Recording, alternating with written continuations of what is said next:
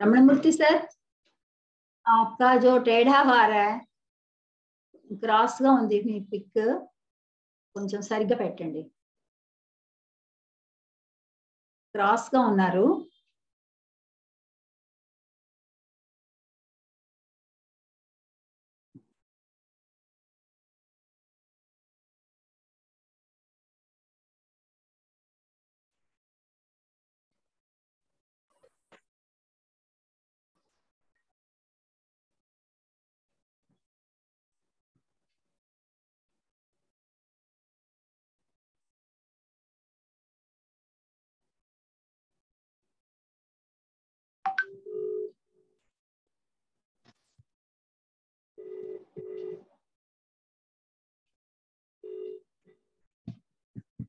సరే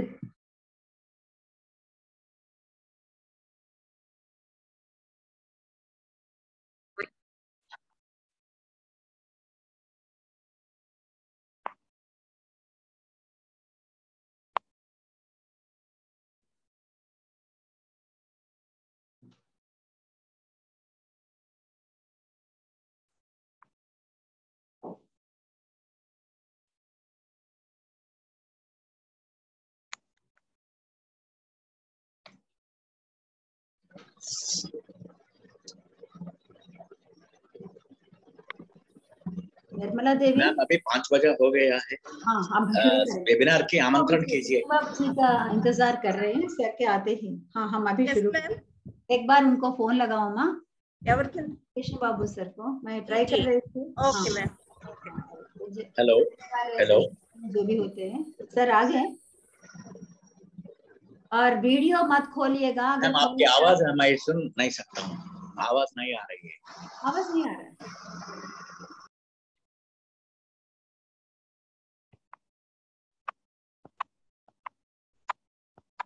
हेलो सुनाई दे रहा है? जी मुझे। अच्छा। अ, एंजेलिन तैयार हो ना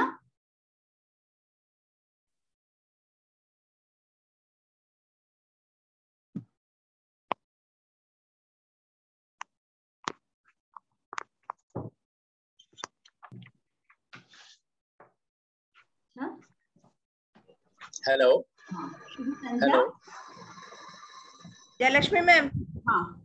सर को कॉल लग गया है दो मिनट में ज्वाइन हो ओके ओके।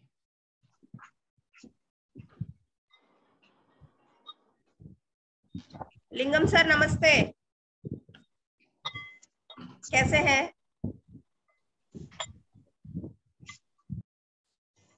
ठीक हो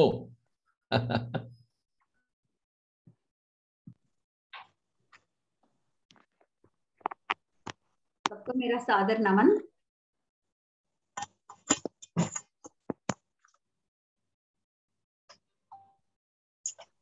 अच्छा। संत महिला महाविद्यालय की ओर से आज के इस कार्यक्रम में त्रिदिवसीय वेबिनार में मैं doctor P K Jayalakshmi head of the department of second languages मैं आप सबका तहे दिल से स्वागत करती हूँ। College for women Visakhapatnam. Department of Second Languages, in collaboration with the Department of Middle Eastern and Islamic Studies, New York University, New York, USA, and Writers and Journalists Association of India, and Enterprise Quality Assurance Cell of St. Joseph's College, we all cordially invite you for the international three-day international webinar on Hindi Sahitya Mein Vimarsh. The problems of senior citizens depicted in the Hindi literature, but you can listen papers even in other languages as well. Main motto, Second Languages Department, we are conducting this uh, webinar to bring awareness among the youth and even uh, elderly people also, they have so many problems, be sociological, psychological, financial. So how they depicted, how the writers of Hindi literature, they depicted the problems. कैसे उन्होंने इसका चित्रण किया और इसका चित्रण और कहानीकारों ने, साहित्यकारों ने किस प्रकार दिखाया? ये सब आपके सामने एक मंच पर लाने के उद्देश्य से हम इस सेमिनार का, इस वेबिनार का आयोजन कर रहे हैं। मैं तहे दिल से सबका स्वागत करती हूँ। खासकर हमारी जो रिसोर्स पर्सन महोदया doctor Gabriela professor Gabriela Lieva clinical professor, department of middle eastern and islamic studies New York University, USA, and Professor Rajini Bhargava, Clinical Assistant Professor, Department of Middle Eastern and Islamic Studies, USA. Then Professor SVSS Narayan Raju sir, Dean School of Social Sciences and Humanities, Central University of Tamil Nadu, Tiruvarur, and our own Dr. S. Krishnababu sir, President Vajayapi. And Advisory Committee, Sri Shivendra Prakash Dwivedi ji. उनके सहयोग से कार्यक्रम संपन्न हो रहा है और यकीन है सफल भी होगा। मैं आप सबका और साथ में जितने लोग अपने प्यार के साथ अपना सहयोग देने आए हैं और अपनी भागीदारी से और ये कार्यक्रम सफल बनाने के लिए सक्षम हैं और आगे बढ़े हैं और उन सबका स्वागत करती हूँ, प्रपत्र वाचन करने वालों का। और खासकर सबसे ज़्यादा जो हमारी प्रिंसिपल महोदया डॉक्टर सिस्टर शाही जी और उन्हीं के संकल्प से, सद्भावना से हम ये कार्यक्रम आयोजित कर पा रही है उनके प्रति। और हमारे ऑफ़िस के जो भी ऑफ़िस सुपरनेंट सिस्टर मेरी और उन्होंने इतना सहयोग दिया हमें ये कार्यक्रम करने। डॉक्टर अनुपमा जो बायोकेमिस्ट्री हेड, वो हमारे टेक्निकल असिस्टेंट्स देती आ रही है। और उन सब का और किसी को भी मैं भूलना नहीं चाहती हूँ। डॉक्टर निर्मला देवी और डॉक्टर दीप्ति जो मेरे सहयोगी है, हमेशा हमारा साथ देते रहते हैं। और इन सब के अलावा और उनके परिश्रम के अलावा, उनके सपोर्ट के अलावा हम कुछ नहीं कर पाएँगे। और मैं आप सबका बहुत कम समय में डॉक्टर, प्रोफेसर गेब्रियाला जी और एक बार हमारे यहाँ आ चुकी हैं। आप सबको याद हुआ होगा 2021 में हमने विदेशों में हिंदी का प्रचार प्रसार कार्यक्रम जब हम करना चाहते थे मिलेना ब्रतोयवा जो बल्गेरिया यूनिवर्सिटी में हमारी सोफिया यूनिवर्सिटी में आ, हमारी जो हेड ऑफ़ डिपार्टमेंट रही प्यार से मैम का परिचय दिया मैम का परिचय कराया। और तब से लेकर हम ना नहीं बोलते। और बहुत प्यार से हमसे जुड़ जाती हैं और अपना सहयोग देने के लिए हमेशा तैयार रहती है। इस बार उन्होंने ही प्रोफेसर रजनी भार्गव से हमारा परिचय कराया और इस प्रकार के मंच पे आने पर क्या होता है, बहुत सारे लोगों से संपर्क होता है, मैत्री बढ़ती है और भी अच्छे कार्यक्रम, क्योंकि विश्व स्तर पर हम ये कार्यक्रम कर पा रही है। अंतरजाल के द्वारा भी क्यों ना हो, ये वेबिनार करना मामूली बात नहीं है। उनका समय अलग है, हमारा समय अलग है। हमारे लिए वे बहुत समय, अपना, अपनी व्यस्तता के बावजूद समय निकाल के आ रही इसलिए मैं बहुत खुश हूँ। और 130 150 तक लोगों, लोग तो यहाँ जुड़े हैं। साहित्य प्रेमी है, हिंदी प्रेमी है, और कुछ बुज़ुर्ग हैं। वे केवल देखना और सुनने की इच्छा से आए हैं। और क्या हो रहा है भी देखने के लिए।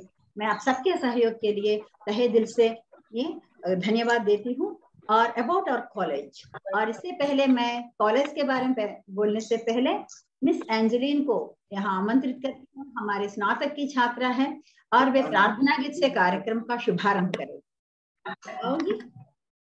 Angeline? allow ki don't allow ki determine the relative position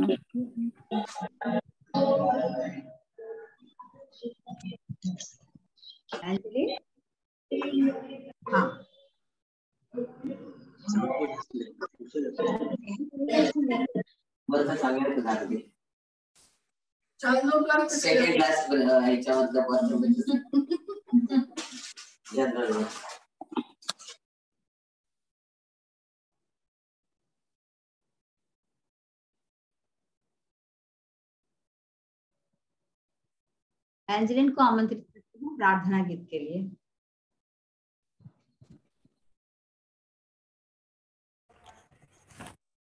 ma'am सुनाई दे रहा है मैम हाँ सुनाओ। ओके मैम शुरू करो माँ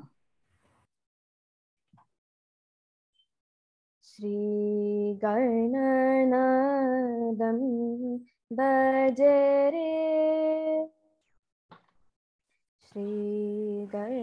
श्रीगणनादं भजरे चित्तपर शक्तियुतं श्रीगणनादं भजरे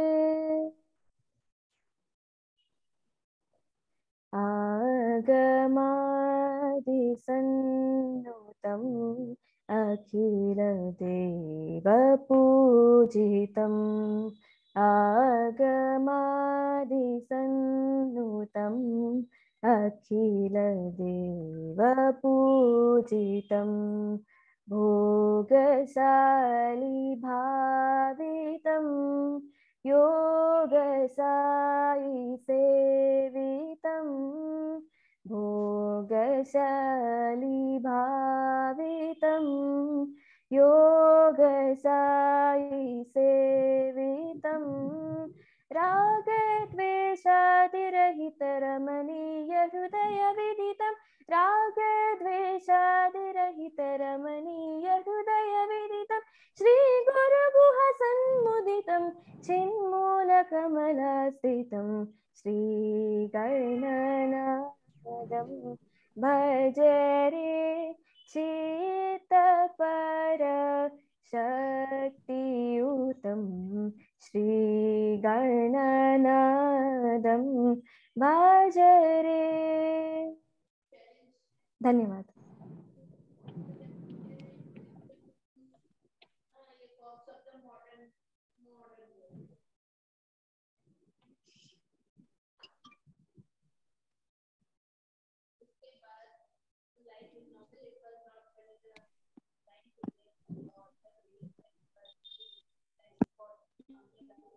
అక్కడ చూడు ఓ మ్యామ్ అన్నాను ఏమిటి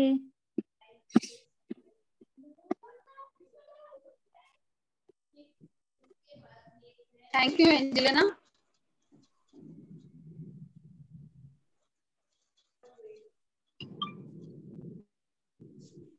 सुनाई दे रहा है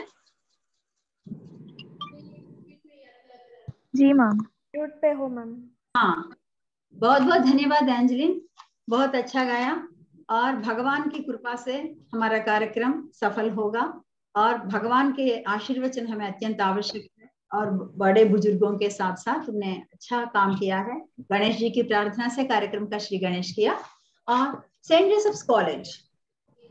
Saint Joseph's college for Women Autonomous is the first women's college in North Coastal Andhra Pradesh and the first autonomous college in Andhra region.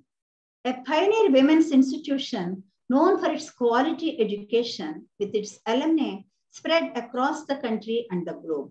The college has organized a number of training workshops for schools and colleges, college teachers in past to create a pool of empowered teachers. In the current scenario, the teachers are constantly required to update and adopt new techniques and technology the process of molding their students into global citizens. हमारा college हमेशा इस विषय में अग्रसर रहता है बच्चों को पढ़ाने में साथ साथ और अध्यापकों के अध्यापन कौशलों को बढ़ाने में वो अपना सहयोग देता रहता है और इसके प्रति मैं धन्यवाद देते हुए कॉलेज के बारे में और डिपार्टमेंट ऑफ़ सेकंड लैंग्वेजेस और इसका प्रेजेंटेशन देने के लिए मैं मोनिका कोराडा से निवेदन करती हूँ मोनिका, जो हमारी छात्रा है, वो Departmental activities second language department का प्रेजेंटेशन दे देगी धन्यवाद मैम आप सभी को मेरा सादर प्रणाम Thanks for joining joining with us today for the international webinar organized by Second Languages. So, coming about the department, the Department of Second Languages has been acclaimed internationally too as the head of department, Dr. P.K. Jalakshmi Ma'am, ICCR, chair in the Department of Indology, University of Sofia, Bulgaria. She has successfully represented the country in propagating Indian culture across European countries from 2012 to 2014. As the AP Best Teacher Awardee for 2016, she proactively involves the students in all the activities, whether it is Hindi fortnight celebrations or the Pratibha magazine and other creative activities. While undertaking major and minor research projects, the faculty guided six MPhil scholars and has published 16 literary books. She has also edited five seminar journals and five degree Hindi textbooks. The department has expertise in organizing international and national seminars earlier, which has been attended by many delegates from India and abroad. Now, I'm going to present the highlights of Hindi department in the form of a PPT.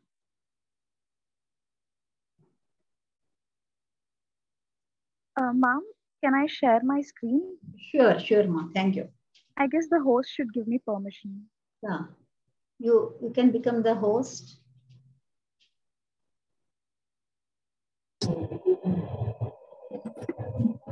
इधर तो तू वहां तक चले जाना como el tiempo que les afirmarle.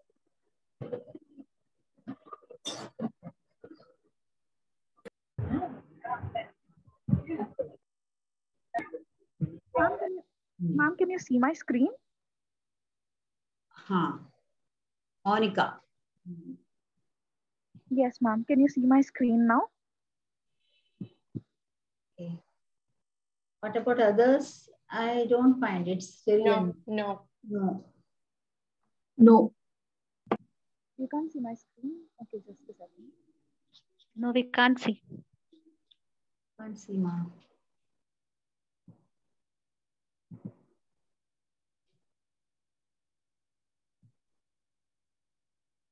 The administrator, it says, has locked Ah, She got the given. options. Monica ji, she's uh, co-host now. No, I'm also co-host, but I cannot change the options. So it means that they're locked. Yeah. Ask to start video. Okay. It's off. I think you have to open your video, ma, Monica. I think you should open your uh, video.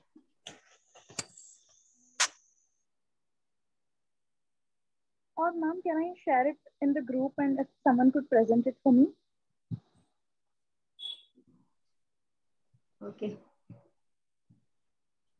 How come it. Um, without showing your opening your video, Okay. we can't find you. Okay, ma'am. I'm, I'm sharing it in the group. Hmm. If someone can present it for me. Yes, you try.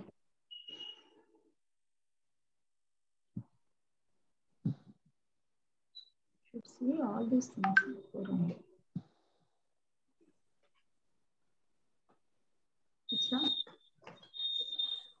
तो बाद में देखेंगे मोनिका क्योंकि नहीं हो पा रहा है तुमसे। इस बीच में कोई power point can be shared power point only yeah now she started yeah now is it visible no yeah we can see you thank you शुरू से शुरू करो। अच्छा okay now you can see my screen yeah yeah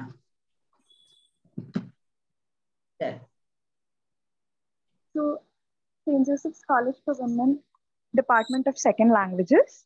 We have our very own PK Jalakshmi ma'am and Deepti ma'am, who is an assistant professor.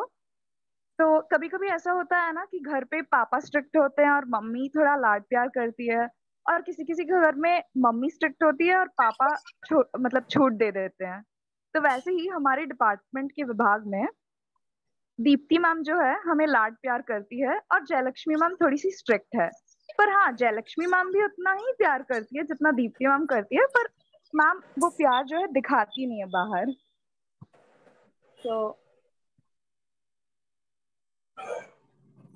हाँ तो the aims and objectives of our department the aims the aim and objective is to enable the students to acquire the written and verbal skills to improve basic skills of re- uh, reading and writing to focus on different types of literature to develop the reading habits to develop creative talents like storytelling story uh, telling story writing role plays and seminars. Okay. So uh, courses taken by the faculty. Uh, apart from uh, Hindi as second languages, our faculty members also take value added courses like, for example, moral sciences and, uh, you know, value education courses. And they inculcate moral values in the youth. So moving on to the next slide. Uh, best practices. तो कई ऐसी practices हैं जिससे Hindi department बच्चों को confident और capable बनाती है जैसे कि प्रतिभा मैगजीन रेडियो प्रोग्राम्स हिंदी सप्ताह, Srishti club, quiz, extempore group discussion seminars etcetera इन सब के बारे में डिटेल में मैं आगे बोलना चाहूँगी। So moving on to the next slide अभी जो मैं पिछले स्लाइड में बता रही थी रेडियो प्रोग्राम के बारे में, उसके पिक्स हैं ये।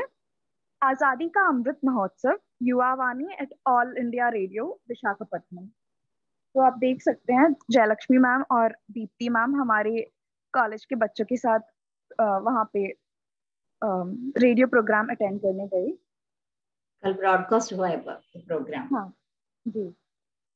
तो स्टूडेंट सेंट्रिक टीचिंग मेथड्स बच्चों के लिए स्टूडेंट सेंट्रिक टीचिंग मेथड्स जो हैं जैसे कि जैम क्विज एक्सटेम्पर इलेक्ट्यूशन ये सब कंडक्ट किया जाता है हमारे डिपार्टमेंट से। और उनको प्राइजेस भी दिया जाता है। Academic activities academic activities conduct किया जाता है एंड ऑल्सो जो स्पेसिफिक डेज़ होते हैं, जैसे कि international women's day international mother tongue day national girl child day international students day vigilance awareness week international mother language day ये सारे जो होते हैं, ये लाइक ऑब्ज़र्व किया जाता है कॉलेज में। As mentioned earlier, our dear Jayalakshmi ma'am has national and international recognition. If you can see the first picture here, she's receiving the Best Teacher Award from the CM, the Chief Minister of Andhra Pradesh in 2016. And also, if you can see, she has received international awards as well. Guest lectures. Guest lectures usually Hindi पर ही नहीं बल्कि variety of topics पर deliver किया जाता है, जैसे कि आप देख सकते हैं यहाँ पे टॉपिक्स में mood disorders and teenage girls career opportunities boosting your confidence जैसे टॉपिक्स पे बच्चों को गेस्ट लेक्चर दिया जाता है, जो कि उनके लाइफ के हर स्टेज पे उनको काम आता है। ये रहे कोई कुछ पिक्चर्स गेस्ट लेक्चर के। आप देख सकते हैं बहुत सारे बच्चे ये गेस्ट लेक्चर्स जो है अटेंड करते हैं और वो बहुत बेनिफिशियल होता है उनके लिए। Now, the Hindi department has expertise organizing national and international seminars. Uh, हमारे डिपार्टमेंट जो हिंदी डिपार्टमेंट है उन्होंने पाँच नेशनल और पाँच इंटरनेशनल वेबिनार्स ऑर्गेनाइज किए हैं। ये सारे पिक्चर्स हैं उन नेशनल और इंटरनेशनल वेबिनार के। थ्री डे इंटरनेशनल वेबिनार और वन डे इंटरनेशनल वेबिनार जो है वो ऑर्गेनाइज किया था जयलक्ष्मी मैम ने। Now coming to the department club जो uh, हमारे हिंदी डिपार्टमेंट के दो अनमोल रत्न हैं वो है सृष्टि और Abhinaya Abhinaya the theatre club ये क्लब्स जो हैं वो सब्जेक्ट रिलेटेड ही नहीं बल्कि फन एक्टिविटीज़ भी कंडक्ट करते हैं जिससे बच्चे एंजॉय भी करते हैं और साथ ही साथ कुछ सीख भी लेते हैं।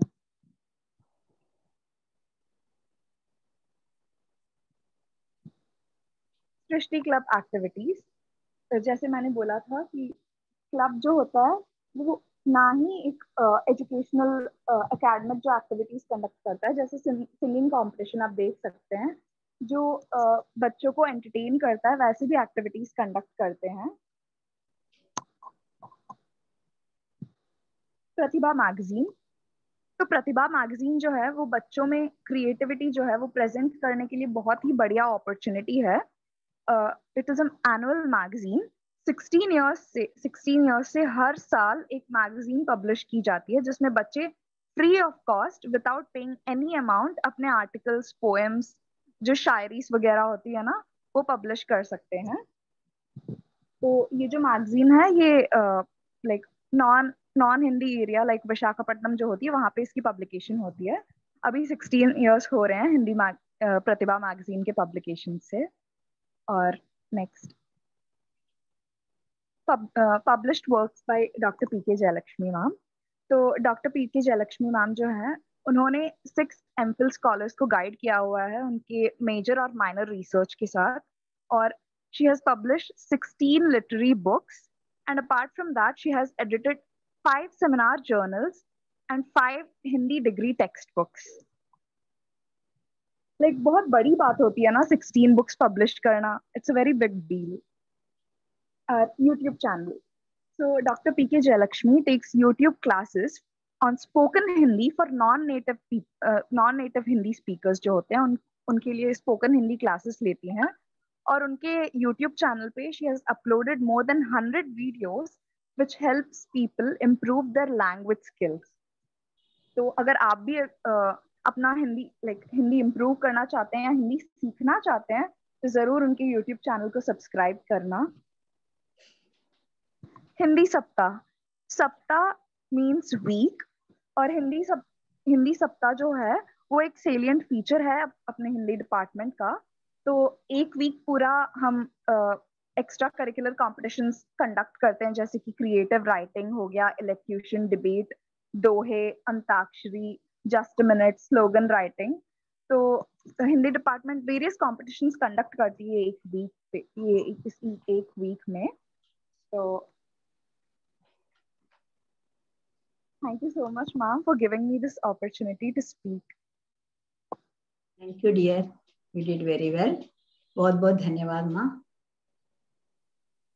हम बच्चों को भी कुछ मौका देना चाहते हैं वे भी अपने कौशलों को दिखा सकते हैं इसलिए हमने बताया केवल ये टीचर्स का कार्यक्रम नहीं है बच्चों को भी शामिल होना चाहिए और मौलिका ने अच्छा निभाया ये कार्यक्रम अच्छी तरह पीपीटी बना के उन्होंने सब दिखाया, मैं उनको धन्यवाद देना चाहती हूँ। और अभी तो बात रही रेशनल, मैंने इस वेबिनार का उद्देश्य क्या है? क्यों तो हम रख रहे हैं। हमने सुना दलित विमर्श, आदिवासी विमर्श, स्त्री विमर्श, किन्नर विमर्श, इसके बाद हम वृद्ध विमर्श को भी, वो भी उभर कर हमारे सामने आ रहा है। समाज में हम देखते हैं, जैसे विशेष रूप से ये वृद्धों की स्थिति कैसी है। आज वृद्ध हमसे अपने अपने परिवार से उपेक्षित होते जा रही हैं।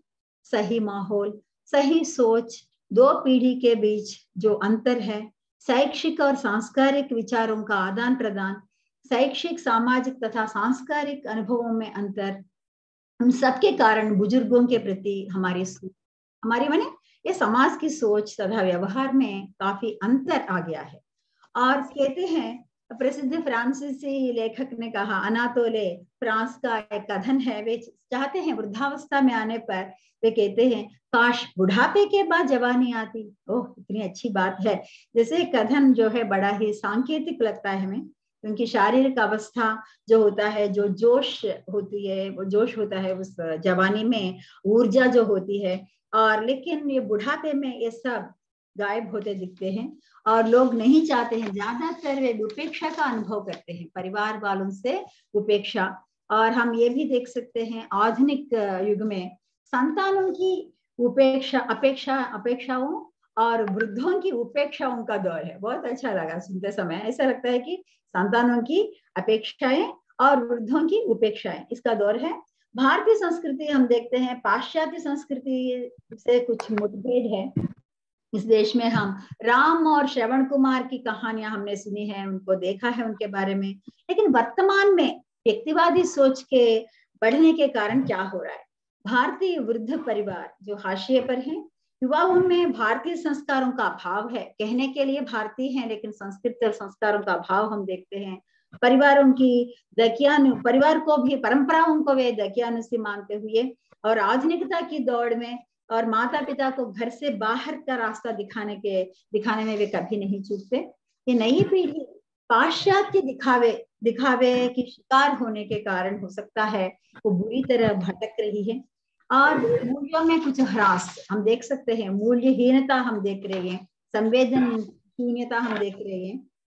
और ये सब वर्तमान समय में विडंबना यही है कि और जिस नींव की वजह से परिवार की संकल्पना की जाती है उसी से आज का युवा वर्ग मैंने उनसे वे नफरत करने लगे हैं।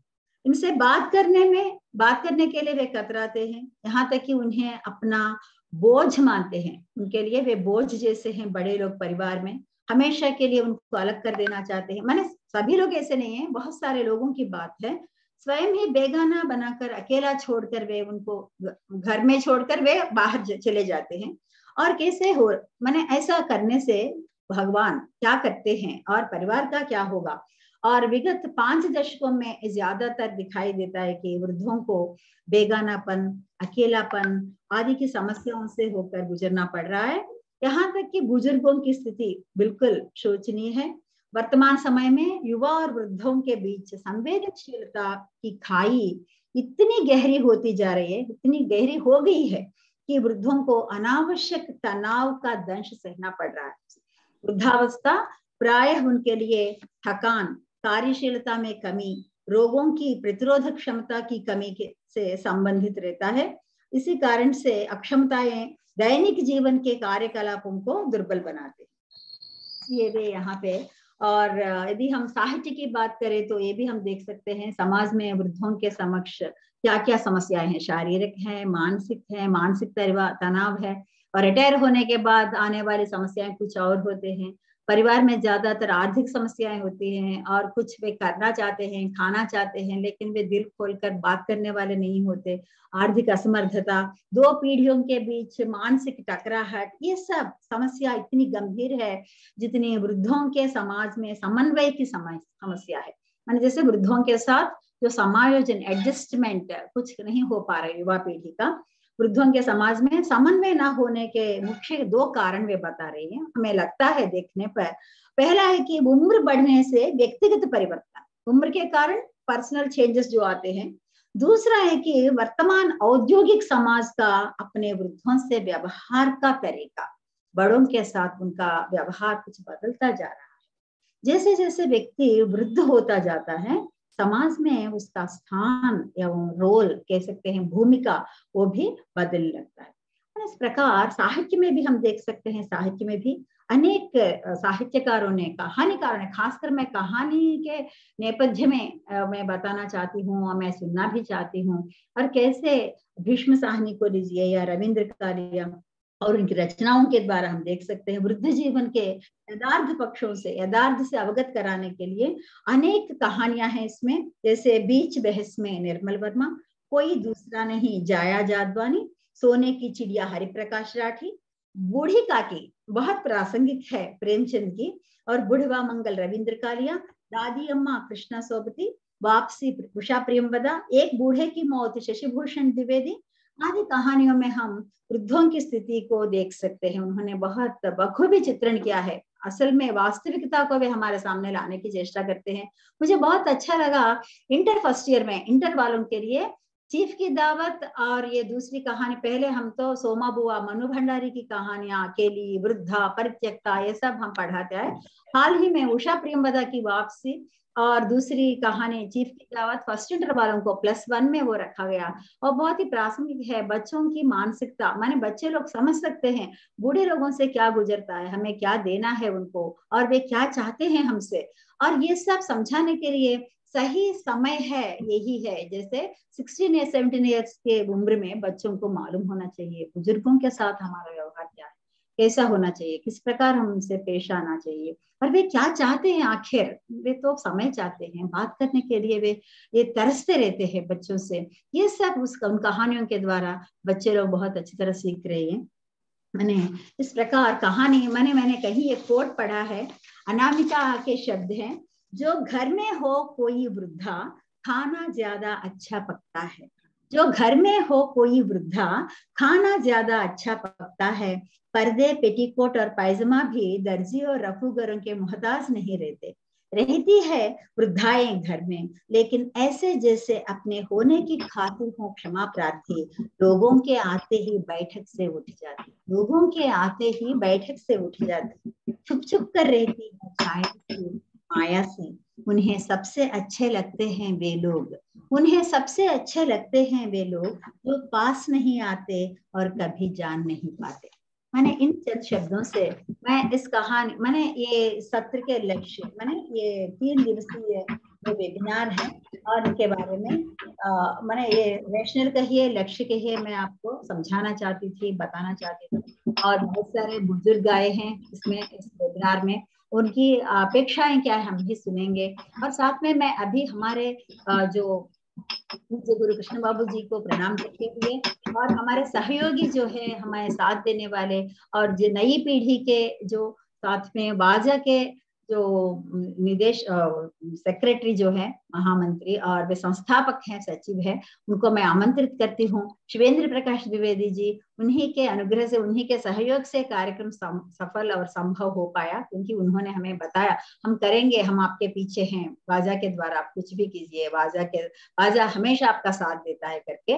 और पिछले महीने में भी हमने एक अच्छा सा वेबिनार का आयोजन किया, जब मैं यूएसए में थी, यामिनी, जो मेरी बहू द्वारा हमने एक अच्छा सा वेबिनार का आयोजन उन्होंने करवाया, बहुत अच्छा लगा सर के कारण। और ये जो संकल्प मैंने रखा उनके सामने, जो प्रस्ताव रखा ये वेबिनार का आयोजन करना चाहती हूँ। मैं तो जब न्यूयॉर्क गई तब उनसे मुलाकात हुई मैडम से और वे भी मान गए आने के लिए। तब ज़रूर वे तो हाँ मैं तो जूम लिंक से पोस्टर सब आपके लिए जो चाहिए मैं हूँ और हिंदी का प्रमोशन करने, हिंदी के लिए हम कुछ भी करेंगे। आप कीजिए मैडम, नई पीढ़ी के लिए हम कुछ करना, हमें कुछ करना होगा। नई पीढ़ी वालों के लिए बहुत ही उपयोगी है नई पीढ़ी का यह कार्यक्रम। मैं आपका सादर आह्वान करती हूँ, स्वागत करती हूँ। सर शिवेंद्र जी, आप पाँच मिनट के लिए कुछ आ, संदेश दीजिए बाद में मैडम का जो वक्तव्य हम सुनेंगे। धन्यवाद। बहुत बहुत धन्यवाद। आवाज़ हमारी पहुँच रही है आप लोगों तक? हाँ जी। बहुत बहुत धन्यवाद। Doctor P K Jayalakshmi ji जो राइटर्स एंड जर्नलिस्ट एसोसिएशन वाजा इंडिया महिला विंग की अध्यक्ष हैं आंध्र प्रदेश की। राइटर्स एंड जर्नलिस्ट एसोसिएशन वाजा इंडिया, आंध्र प्रदेश के प्रदेश अध्यक्ष Shri Krishna Babu ji writers and journalist association वाजा इंडिया, आंध्र प्रदेश की सचिव डॉक्टर निर्मला जी। आज के कार्यक्रम की स्पीकर प्रोफेसर रजनी भार्गव जी आज के कार्यक्रम में उपस्थित miss Angeline miss Monica सरजैन Thomas professor Nick doctor Jamuna doctor K Anitha Lingam Chiranjeevi ji doctor Rao doctor Aruna Kumari doctor K Jasmine ji और साथियों। सबसे पहले मैं दो मिनट में राइटर्स एंड जर्नलिस्ट एसोसिएशन के बारे में आपसे कुछ कहूँगा। राइटर्स एंड जर्नलिस्ट एसोसिएशन राष्ट्रीय स्तर पर लेखकों और पत्रकारों का पहला साझा मंच है, जो हिंदुस्तान के पंद्रह राज्यों में चल रहा है। राइटर्स एंड जर्नलिस्ट एसोसिएशन का सपना है कि राष्ट्रीय हितों के हक में लेखक और पत्रकार एक मंच पर आए और अपनी समस्याओं का समाधान करें। दरअसल, लेखन और पत्रकारिता एक बहुत ही गूढ़ विषय है।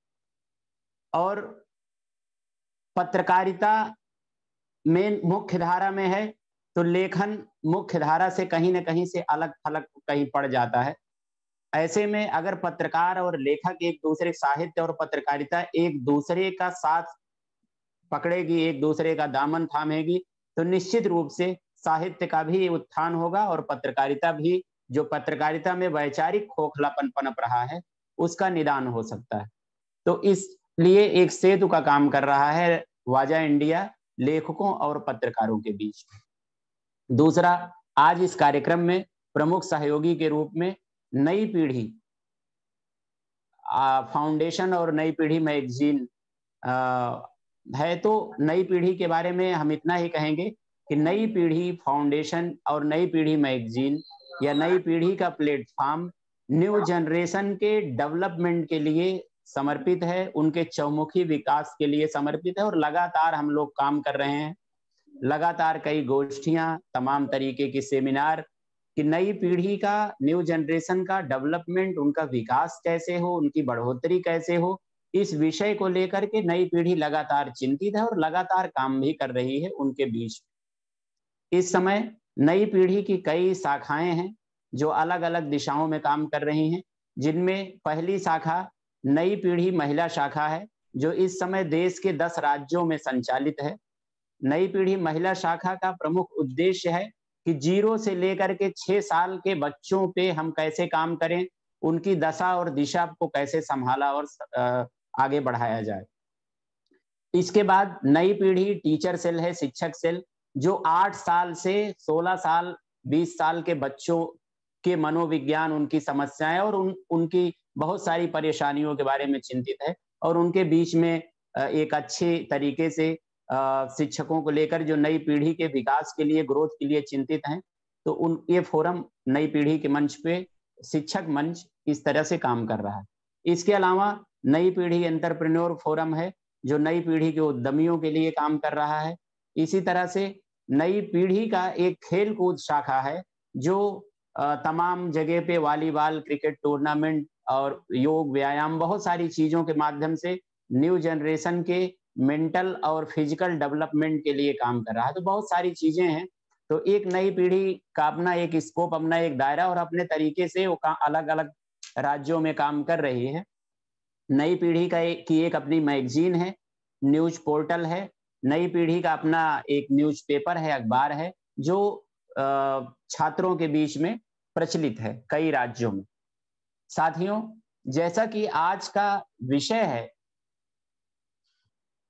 हिंदी कथा साहित्य में वृद्धों का जीवन दर्शन तो हम यही कहना चाहेंगे कि दरअसल बुढ़ापा जिसे आमतौर पर निष्क्रियता, शिथिलता की शारीरिक दशा समझकर बहुत काम की चीज़ नहीं समझा जाता, बचपन से लेकर जवानी तक जीवना जीव जीवना अनुभवों का कोष होता है।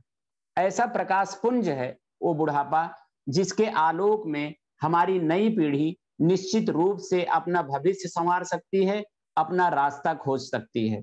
यही कारण रहा है कि प्राच्य और पाश्चात्य दोनों ही परंपराओं में वृद्ध और वृद्धावस्था के प्रति सम्मानजनक भाव रहा है।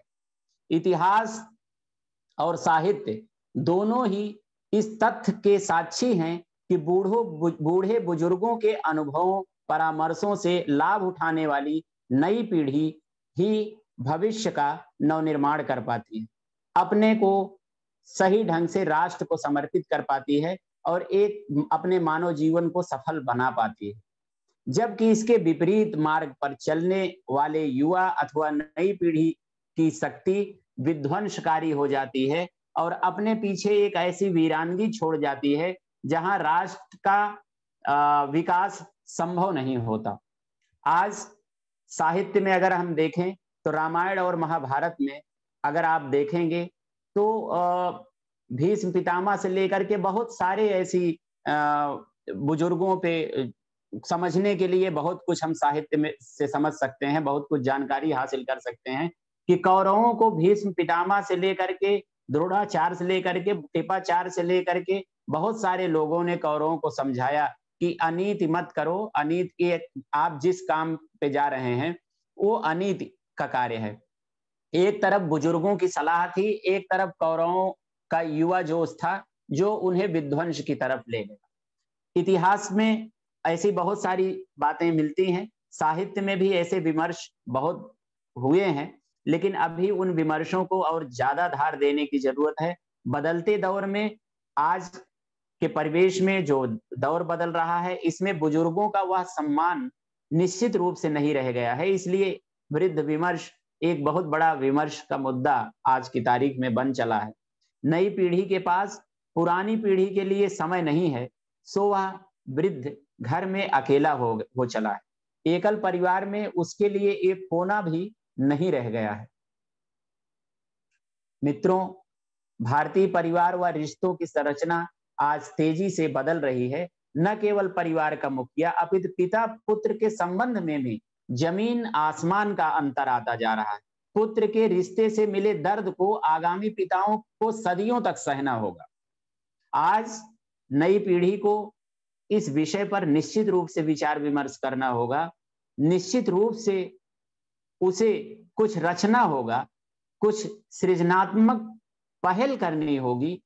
इस दिशा में तभी इस आ, समस्या का निदान संभव है। हालाँकि वृद्धावस्था एक समस्या नहीं जैसा पहले ही हमने कहा कि वृद्धावस्था तो एक अपने अनुभवों का प्रकाश पुंज है। समाज के अनुभवों का एक बड़ा प्रकाश पुंज है जिसमें नई पीढ़ी अपना रास्ता खोज सकती है।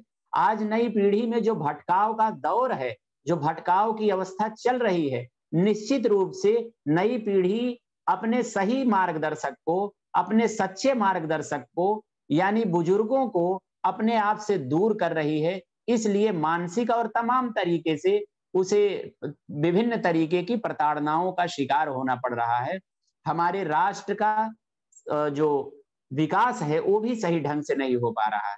ऐसे में फिर से हमें बुज़ुर्गों की तरफ़ ध्यान देना होगा और इस वृद्ध विमर्श को और हवा देनी होगी, जिससे एक नई जागरूकता फैल सके, एक नई चेतना फैल सके, नई पीढ़ी में अपने बुज़ुर्गों के प्रति वही सम्मान लौट सके, जो हमारे ग्रंथों में था, जो हमारे साहित्य में था, जो हमारी कथाओं में था, प्राचीन काल में। अपनी माँ के प्रति जो भाव रहे सिर्फ़ भारतीय साहित्य ही ऐसा साहित्य है, तमाम ऐसे दूसरे भी साहित्य हैं, दूसरे भी देशों के साहित्य लेकिन भारतीय साहित्य में माँ को जो दर्जा दिया गया, वृद्धों को जो दर्जा दर्जा दिया गया, वो अपने आप में अतुलनीय है। आज हमें फिर से उस साहित्य को, उस मार्ग को, उस, उन चीज़ों को हमें नई पीढ़ी के सामने एक आदर्श के तौर पे ले आना होगा और इस तरीके के विमर्शों की बहुत ही अतिशय आवश्यकता रही है। और हम समझते हैं जयलक्ष्मी मैम को, doctor P K Jayalakshmi ma'am को मैं बहुत बहुत धन्यवाद दूँगा। और सेंट जोसेफ कॉलेज को भी मैं आभार व्यक्त करूँगा और हमारे साथ इसमें जो भी आज स्पीकर हैं प्रो, प्रोफेसर रजनी भार्गव जी मैं उनको भी सुनना चाहूँगा। मैडम है प्रोफेसर जी का परसों हमने पोस्टपोन किया अच्छा। गलती से मैम का नाम ले रहे हैं आज तो प्रोफेसर गेब्रियाला जी आज बोलने वाली हैं हमारे जो ठीक है मैं उनका। हार्दिक स्वागत करता हूँ। मैं बहुत ही मन से बहुत ही दिल से मैं उनको बहुत ही हृदय से सुनना चाहता हूँ। बहुत बहुत धन्यवाद आप सभी। बहुत बहुत धन्यवाद सर। मैं अभी सिस्टर जैन थॉमस वो हमारे महाविद्यालय की फ्रेंच प्रोफेसर हैं और उनसे निवेदन करती हूँ मैडम का परिचय दे। Professor Jane Thomas ji. Sister Jane, please introduce our guest. Yes, ma'am. Am I audible, ma'am? Yeah. Okay. Thank you.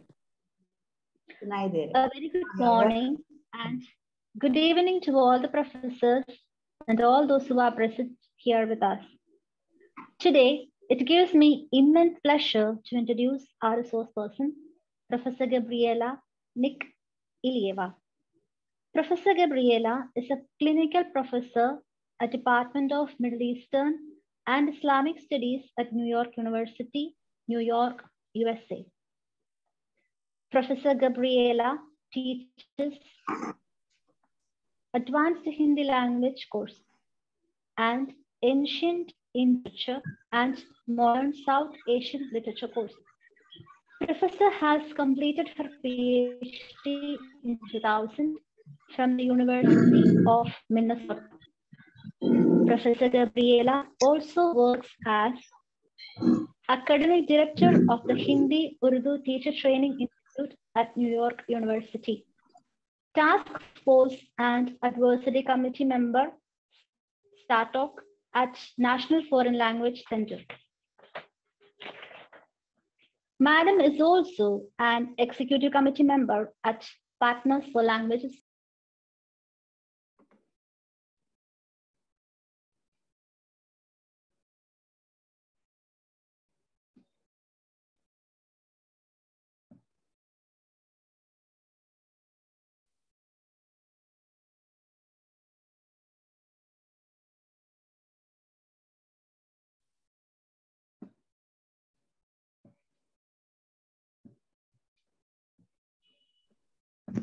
Ma'am mike mute हो गया Mike, mute, Jane, Sister Jane.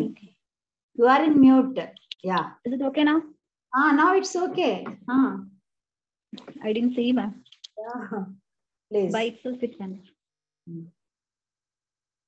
Professor Gabriela is also the director of the South Asian Languages Database Project at National Heritage Language Resource Center and president of the South Asian Languages Teachers Association.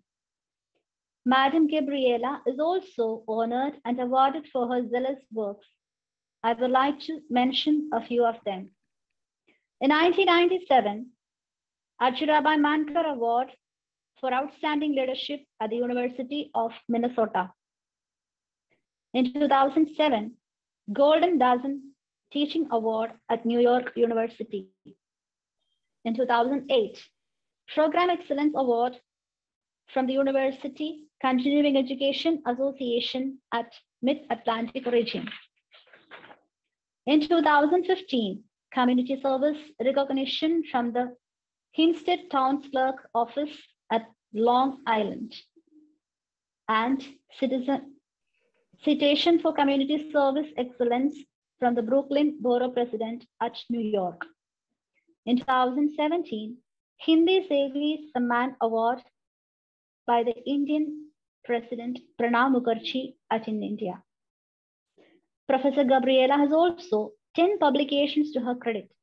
A few of them are Common Representations of Women and Men in Rig Veda, Gender Aspects in Parenthood and Childhood in Rig Veda, Project on Managing the Mixed Abilities Classroom, Hindi Heritage Learners Performance during Characteristics and Pedagogical Implications.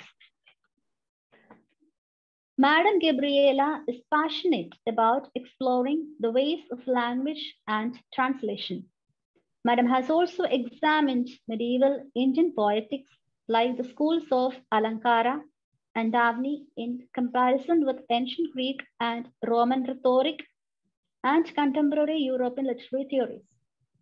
Professor is also interested in discourse structures in Hindi and Sanskrit literature which reproduce gender-based relations. Madam Gabriela, we are fortunate to have you amidst us today, and now I welcome you to deliver your ideas and views with us. Thank you. बहुत बहुत धन्यवाद thank you so much sister Jain Professor Gabriela, I request you to give your valuable message to the delegates. सादर प्रणाम doctor Lakshmi ji को धन्यवाद खास के आ, बोलना है क्योंकि हमने आ, उसी विषय के बारे में आ, जब पहली बात की तो मुझे आश्चर्य हुआ कि फ़िलहाल मैं सोचने लगी वृद्धावस्था के बारे में व्यक्तिगत रूप से। तो मैं वृद्धावस्था के रास्ते पे हूँ साठ साल की हूँ और देखिए कि मैंने सोचा कि बच्चों के साथ बाइक कर सकती हूँ बाइक चला सकती हूँ। तो ऊपर से एक संदेश आया अच्छा तो वृद्धावस्था को अपनाना है वृद्धावस्था को मानना है वृद्धावस्था को स्वीकार करना है। तो उसी तरह मेरा जो शोध हुआ उसी लेक्चर के लिए वो वैसे ही इंफॉर्म्ड हुआ अपनी अभिव्यक्ति के आधार पर। सो so, मैं अपना स्क्रीन शेयर करूँगी। आप ज़रूर मुझे बताएँ कि देख सकते हैं मेरा स्क्रीन ठीक है। सो so, um, मैंने मैंने uh, कभी um, बुज़ुर्ग लोगों की ज़िंदगी के बारे में वृद्ध अवस्था के बारे में सोचा नहीं।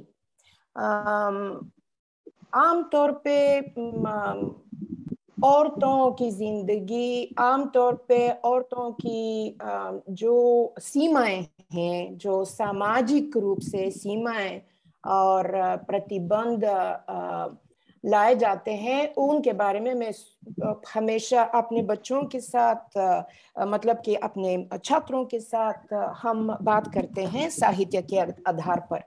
लेकिन ये तो बहुत अच्छी चेतावनी है कि हम कुछ और देखें। और मैंने सोचा कि स्त्रियों की मतलब कि और दीर्घ दीर्घ आयु उनकी अवस्था के बारे में अगर बात करेंगे तो बहुत जटिल होगा। तो ये हो सकता है मेरा अगला कदम। आज मैंने सोचा कि आम आदमी की बात करूँगी जो पात्र है यशपाल की दो कहानियों में। जिनको मैंने पढ़ा पहली बार बहुत साल पहले, लेकिन फिर भी मैंने सोचा कि जो संदेश है उनमें वो बहुत दिलचस्प है। वो दिलचस्प है इसीलिए क्योंकि दोनों परंपराओं दोनों संस्कारों दोनों पक्षों के बीच की कहानियाँ हैं। मतलब दोनों एक है पश्चिमी दूसरी है भारतीय। सो so, क्या फ़र्क है? भारत में आमतौर पे बोलते हैं कि मनुस्मृति में ये कहा ये ये ये बहुत महत्वपूर्ण है कि हम समझे कि लोगों के पाँच मुख्य ग्रुप्स हैं पाँच मुख्य भेद हैं। धन वृद्ध लोग आ, ये स्पष्ट है। आयु वृद्ध लोग ये हमारा जो विषय है। कर्म वृद्ध लोग बल बल वृद्ध लोग बल का मतलब है पारिवारिक नातों से वृद्ध। आयु वृद्ध कर्म वृद्ध मतलब कि अच्छे से कर्मों को करने से वृद्धि होती है और ज्ञान वृद्ध सो इसके अलावा एक और श्लोक है, जो मैं संस्कृत में नहीं पढ़ूँगी, लेकिन उसका यह मतलब है कि रथ पर सवार व्यक्ति, वृद्ध, रोगी, बोझ उठाए हुई, हुए व्यक्ति स्त्री, स्नातक, राजा और वर। उन आठों को आगे जाने का मार्ग देना चाहिए और स्वयं एक और हट जाना चाहिए। तो ये एक बहुत स्पष्ट संदेश है कि आयु दीर्घ आयु एक एक अवस्था है जिसके बारे में समाज को, क्योंकि मनुस्मृति का यही सामाजिक कानूनी आधार देता है जिसमें ये अच्छी बात है कि उसमें विचार विमर्श है वृद्ध अवस्था के बारे में। और हिंदू समाज को इसका जो छाप है हिंदू समाज पर तो बहुत महत्वपूर्ण है, बहुत बड़ा है आज तक। और इसके साथ और है कि जो जो श्लोक मैंने आपका, उसका अर्थ दिया है आपको उसमें क्या है कि लग रहा है कि सम्मान के साथ जो सवार व्यक्ति मतलब कि लग रहा है कि सवार व्यक्ति जो है ऊँचे पद पर है जो रोगी है जो बोझ उठाए हुए व्यक्ति है स्त्री है स्नातक राजा।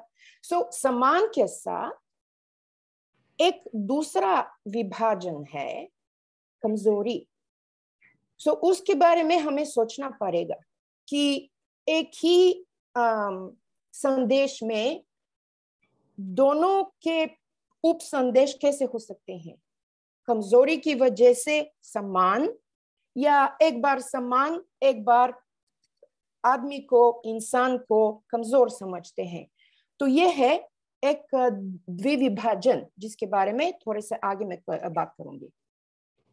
मैंने नहीं देखा कि कब मैंने शुरू किया तो लक्ष्मी जी भी आप मुझे पाँच मिनट जब बाकी होंगे तो मुझे ज़रूर बताएँ। पश्चिम में क्या होता है कि दो दो दो मुख्य कथाएँ हैं।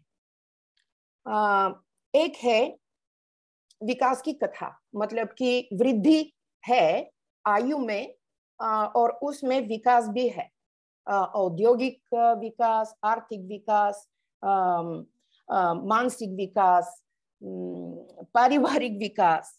लेकिन इसके साथ एक और कथा है और ये पतन की कथा है। मतलब कि सब कुछ का आ, सब कुछ का नष्ट हो जाता है सब कुछ का विनाश हो जाता है दीर्घ आयु के साथ। आ, तो इसीलिए पश्चिम में आ, और ये आ, लिन सेगाल ने कहा है कि वृद्ध अवस्था के बारे में हमें क्या महसूस करना है? या तो खुश होना चाहिए या हमें दुखी होना चाहिए। आ, जिस जिन कथाओं को हम सुन रहे हैं आ, समाज में उनमें ये एक्सट्रीम है। या तो बहुत अच्छी बात है या तो विकास की बात है या तो विनाश की बात है पतन की बात है।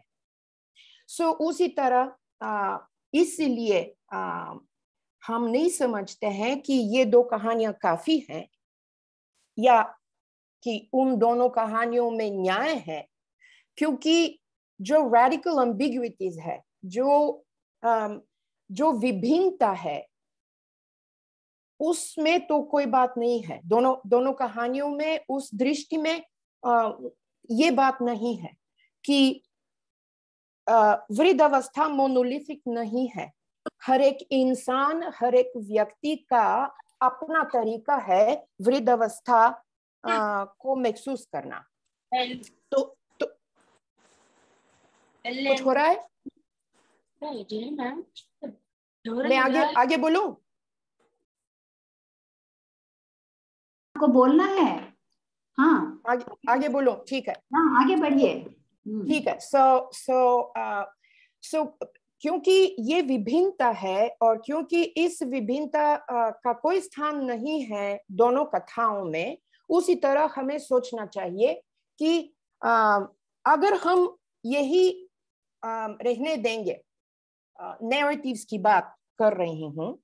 अगर उनको ही रहने देंगे तो उसका क्या मतलब होगा? कि हम जब किसी ग्रुप में आ, किसी इंसान को डालेंगे और जब ये इंसान ये बिलोंगिंग का मतलब समझना आ, समझने लगेगा तब ये इंसान ग्रुप की जो विशेषताएँ हैं उनको ही अपनाना चाहेगा ताकि बिलोंगिंग जारी रखे। लेकिन उसका क्या मतलब है? कभी कभी कुछ भावनाएँ हैं कभी कभी कुछ अवस्थाएँ हैं, मानसिक अवस्थाएँ हैं, जो इस ग्रुप में फिट नहीं है। फिर भी बिलोंगिंग की वजह से और ये लूपिंग इफ़ेक्ट है यंग हैकिंग्स के रिसर्च के के आधार पर ये लूपिंग इफ़ेक्ट है कि लोग एक नया एटीट्यूड अपनाना अपना अपनाते हैं और अपनाना चाहते हैं ताकि किसी ह्यूमन काइंड में वे बिलोंग करे। और उसी तरह जब ये दोनों कथाएँ हैं, या तो मैं विकास की कथा में पार्टिसिपेट करूँगी, या तो मैं पतंग की की कथा में पार्टिसिपेट करूँगी। उसी तरह बीच में तो कोई रास्ता नहीं है। वृद्ध दीर्घ आयु के इंसान के लिए। इसके बाद क्या ये दोनों जो जो, जो ये जो विभाजन है हम वैसे ही संक्षेप में क्या क्या इन्यूमरेट कर सकते हैं? जीवन के अनुभवों की पूजा की पूंजी मतलब समझते हैं कि लोगों की काफ़ी अनुभूति है।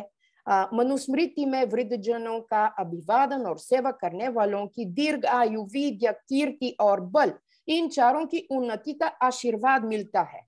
आशीर्वाद शब्द बहुत महत्वपूर्ण है यहाँ। मनुष्य की विभिन्नता मतलब सब लोग अलग अलग तरीके से अलग अलग रास्तों पे चलते हैं तो उसी तरह उनकी आयु में वृद्धि अलग अलग रास्ते पे भी अलग अलग रास्तों पे भी चलती है।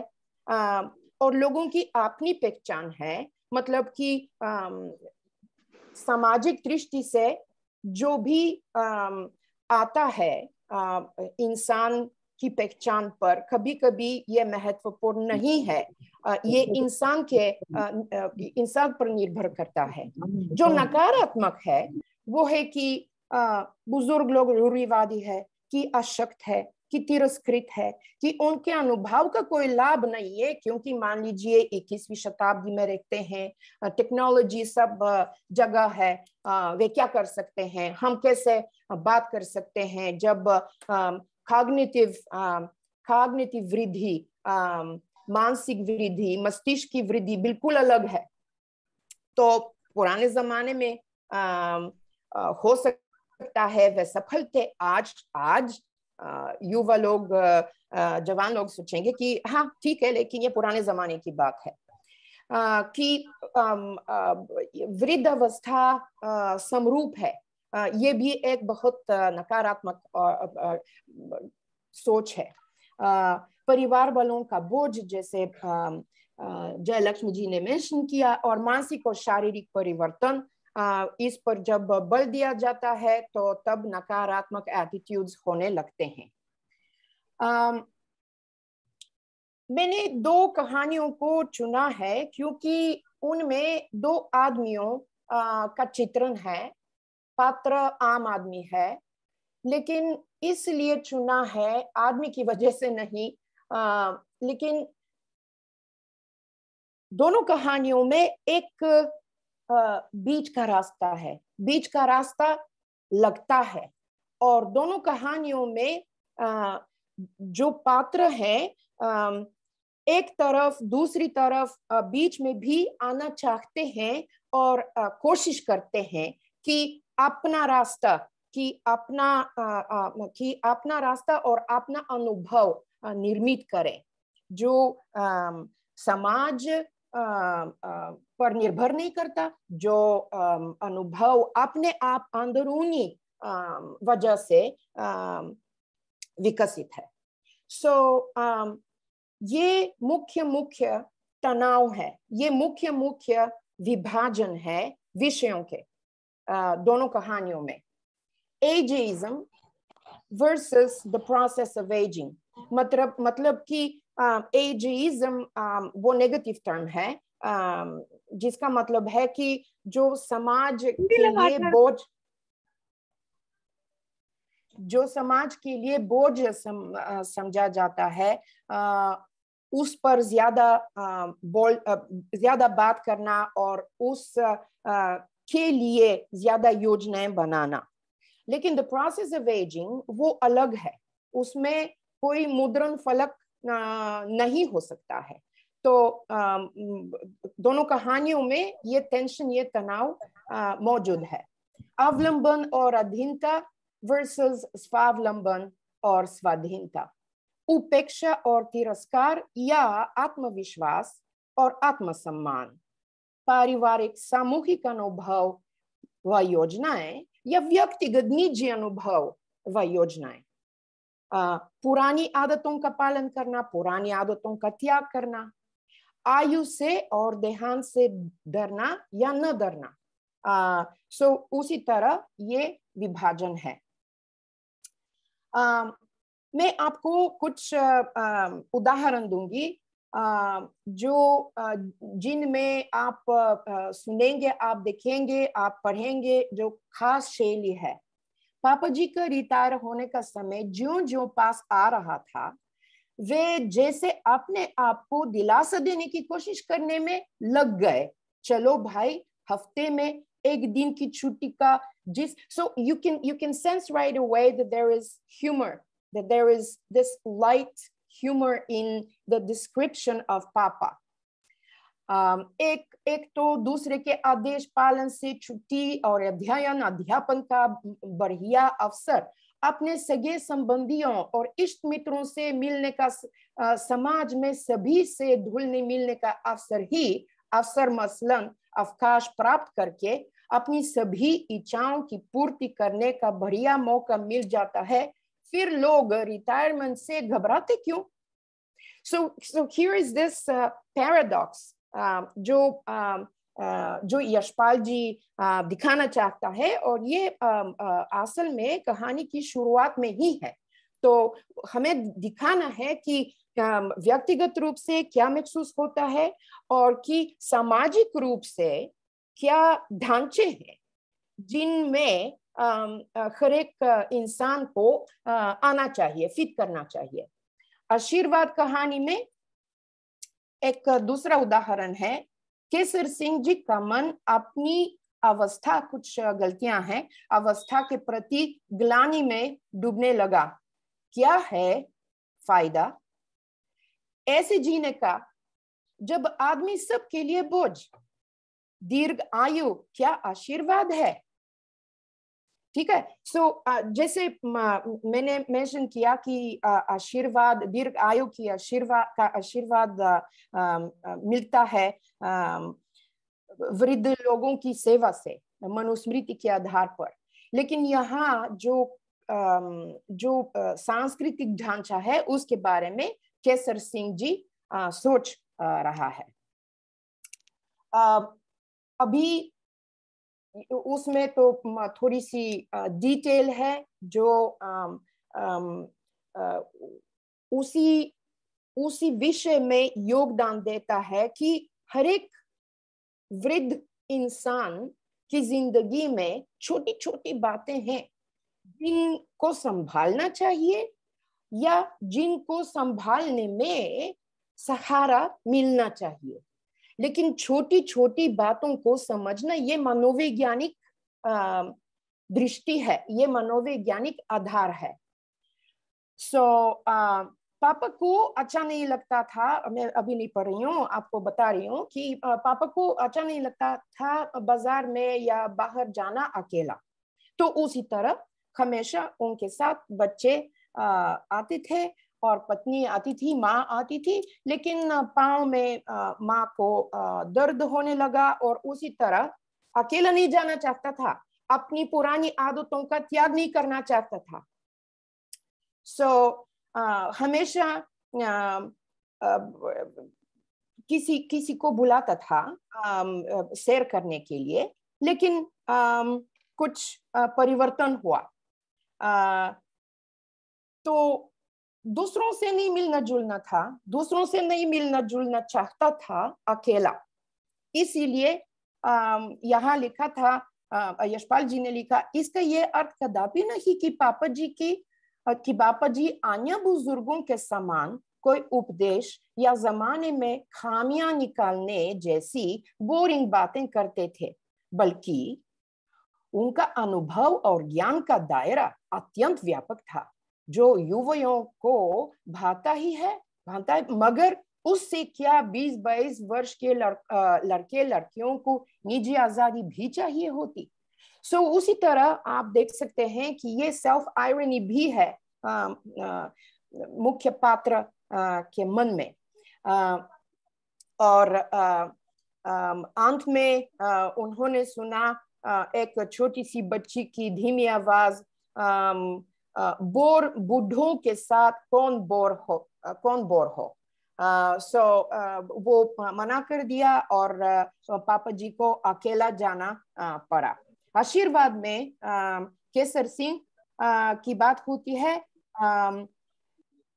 उसको स्मशान जाना था और एक दोस्त की विदा देनी थी और अंतिम संस्कार करवाना था लेकिन अपने आप को देहांत के नज़दीक अभी तक यम लोग के पास अपने आप को नहीं समझता था कि आया है।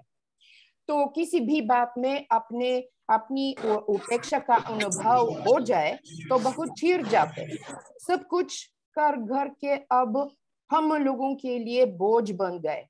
अपनी और अधिक चिंता अनुभव कर लेते तो कह बैठते हम क्या ऐसे उपाहित हो गए हैं? सो दूसरों बाहरी दृष्टि और अंदरूनी दृष्टि के बीच का जो तनाव है उसमें ये ये मैं आ, समझा सकती हूँ। इसके अलावा छड़ी जो है एक बहुत अच्छा सा सा प्रतीक है जिसको यशपाल जी यशपाल जी ने बहुत अच्छे से इस्तेमाल किया है। पापा पापा कुछ देर के लिए चुपचाप बैठे ही रहे नज़र फर्श पर जमाकर चेहरे पर एक विषाद भरी मुस्कान के साथ मगर फिर उठे आ, उठे हैं घर से आ, कोट उतारा और मम्मी को आवाज़ देकर कहा सुनो कई बार पहाड़ से छरिया लाए हैं तो कोई एक तो दो और इसके बाद छरी लेकर अब देख लीजिए कि आखिरी लाइन क्या है। आ, जैसे आ, किसी की और देखिए बिना घूमने के लिए चले गए। मानो हाथ की छेरी को टेक कर उन्होंने समय को स्वीकार कर लिया। सो so, आप देखते हैं कि अंत में ये आखिरी लाइन है कहानी में आ, समय को स्वीकार कर लिया। सो so, ये है मुख्य जो सार है इस कहानी का कि कैसे करें कब करें किसके आधार पर करें अपनी व्यक्तिगत अनुभवों से या आ, या किसी दबाव से जो बाहर से आता है। तो उसी तरह छेरी का भी उदाहरण है। लेकिन वो आप मैं आपको ये पावर पॉइंट डालूँगी किसी हो सकता है यहाँ चैट में या जहाँ भी तो आप पढ़ सकते हैं कि कितना आ, मतलब मजाकिया शैली है।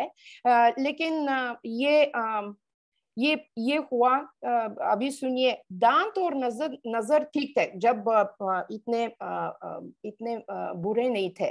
दाढ़ी बर्फ़ की तरह सफ़ेद हो जाने के कारण पगड़ी भी सफ़ेद ही रखते परंतु आगे बढ़कर दांतों ने सेक्सा विदा मांग ली। इस आयु में कृत्रिम दांत सही न हुए। इसका प्रभाव पूरे शरीर पर पड़ा। चबा न सकने के कारण पाचन शक्ति क्षीण और भोजन में अरुचि हो गई। हाथ, पाँव कुछ लजरने लगे। स्वभाव और बोलचाल पर भी असर आ गया। मुँह खाली और पोपला होकर पिचक गया। धारी लपेट कर बांधने के श्रम में थकावट हो जाती। लंबी सफ़ेद दाढ़ी सीने तक लटकी रहने लगी। बाहर जाना बहुत कम हो गया, परंतु स्थानीय समस्याओं, अखबार और बातचीत में अब भी रुचि थी। माँ स्वस्थ हो तो व्यवसाय, सामाजिक और कानूनी प्रश्नों पर बड़ी सुलझी राय दे सकते थे। छेरी को सहारे आ, छेरी के सहारे की के बावजूद चार पाँच कदम चलते ही सरदार जी के आ, फेफड़े धोपने की तरह धप करने लगते। So this is when he is moving out of the shamshan area घुटने काम काँप घुटने काम काँप जाते। बार बार रुकना पड़ता। विचार आया व्यर्थ यहाँ से भागने का प्रयत्न। सुनिए व्यर्थ यहाँ से भागने का प्रयत्न। छह महीने साल यह यहाँ ही लाया जाएगा मुझे। क्या बात कर रहे हैं सरदार जी? घर पर स्टेशन से लौटे। बेटा बहू पोते पर पोते आपकी राह देख रहे हैं। मानो संजीवक इंजेक्शन से केसर सिंह के स्नायुओं में शक्ति की लहर दौड़ गई। सो so, um, श्मशान श्मशान से जाना नहीं चाहता था क्योंकि मालूम है कि मृत्यु आ रही है। लेकिन जब जब बल वृद्ध है मतलब कि पारिवारिक नातों से वृद्ध है तो देखिए कि क्या हुआ और कि क्या शक्ति आई। तो कहाँ से प्रेरणा आती है और कब प्रेरणा आ सकती है उसके बारे में यशपाल जी का ध्यान है। सो so, um, ये मेरा ये प्रयास था कि हम आम आदमी के अलग अलग तरीकों के अनु, अनुभव के बारे में बात करें। और ये समझना है हमेशा कि nothing is let alone India. uh, Bharat एक प्रायद्वीप है। भारत एक विशाल देश है।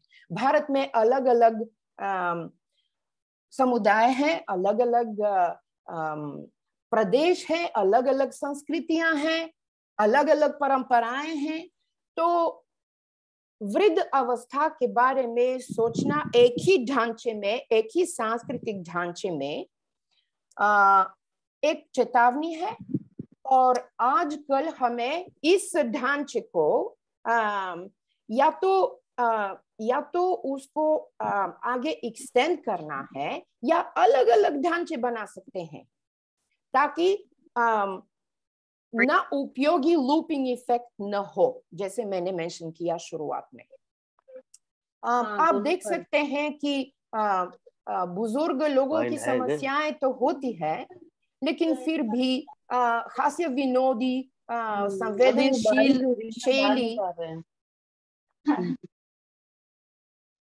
आगे आगे बढ़ू?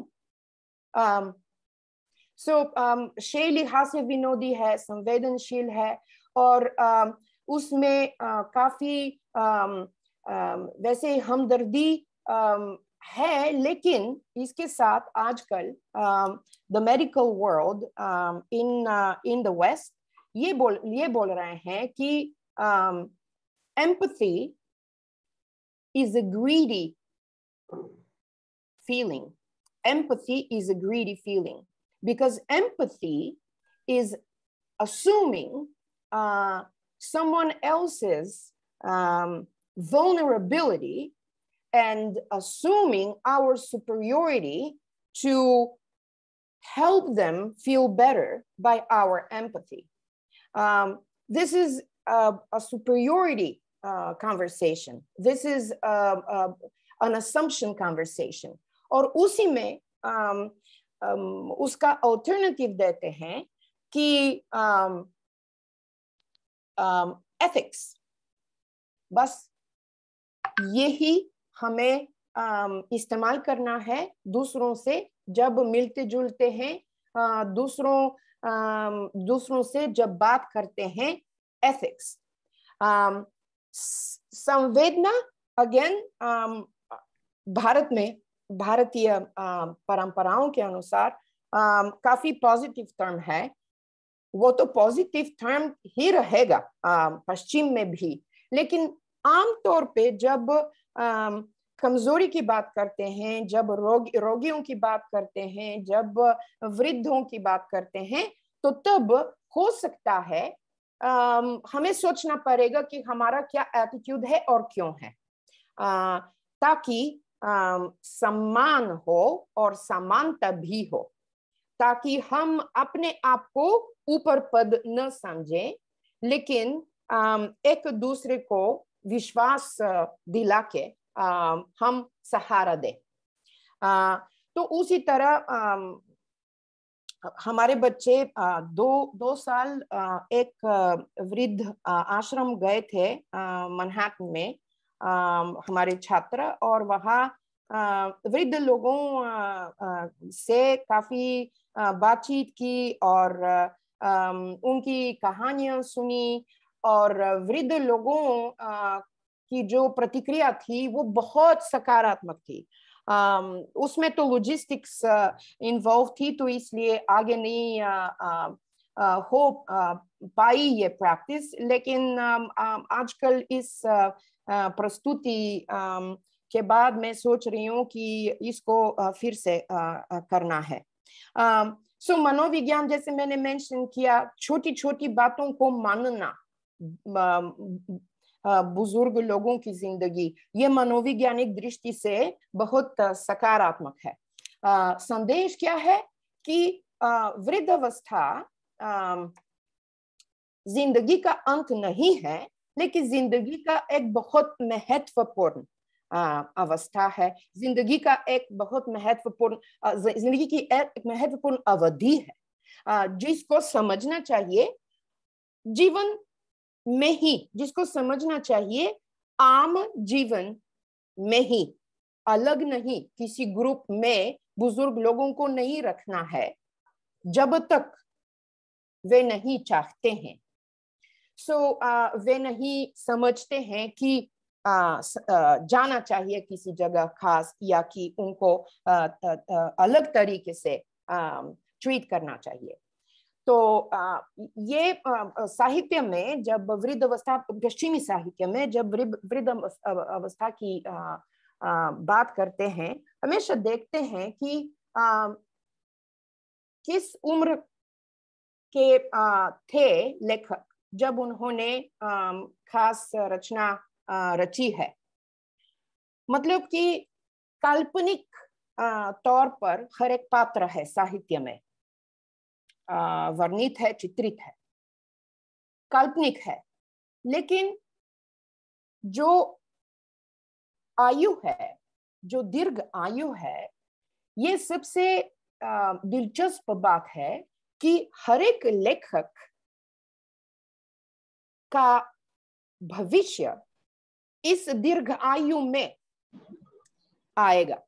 तो उसी तरह जैसे जो दूसरे पात्र है जिनसे कोई वास्ता नहीं है वो तो अलग कल्पना है।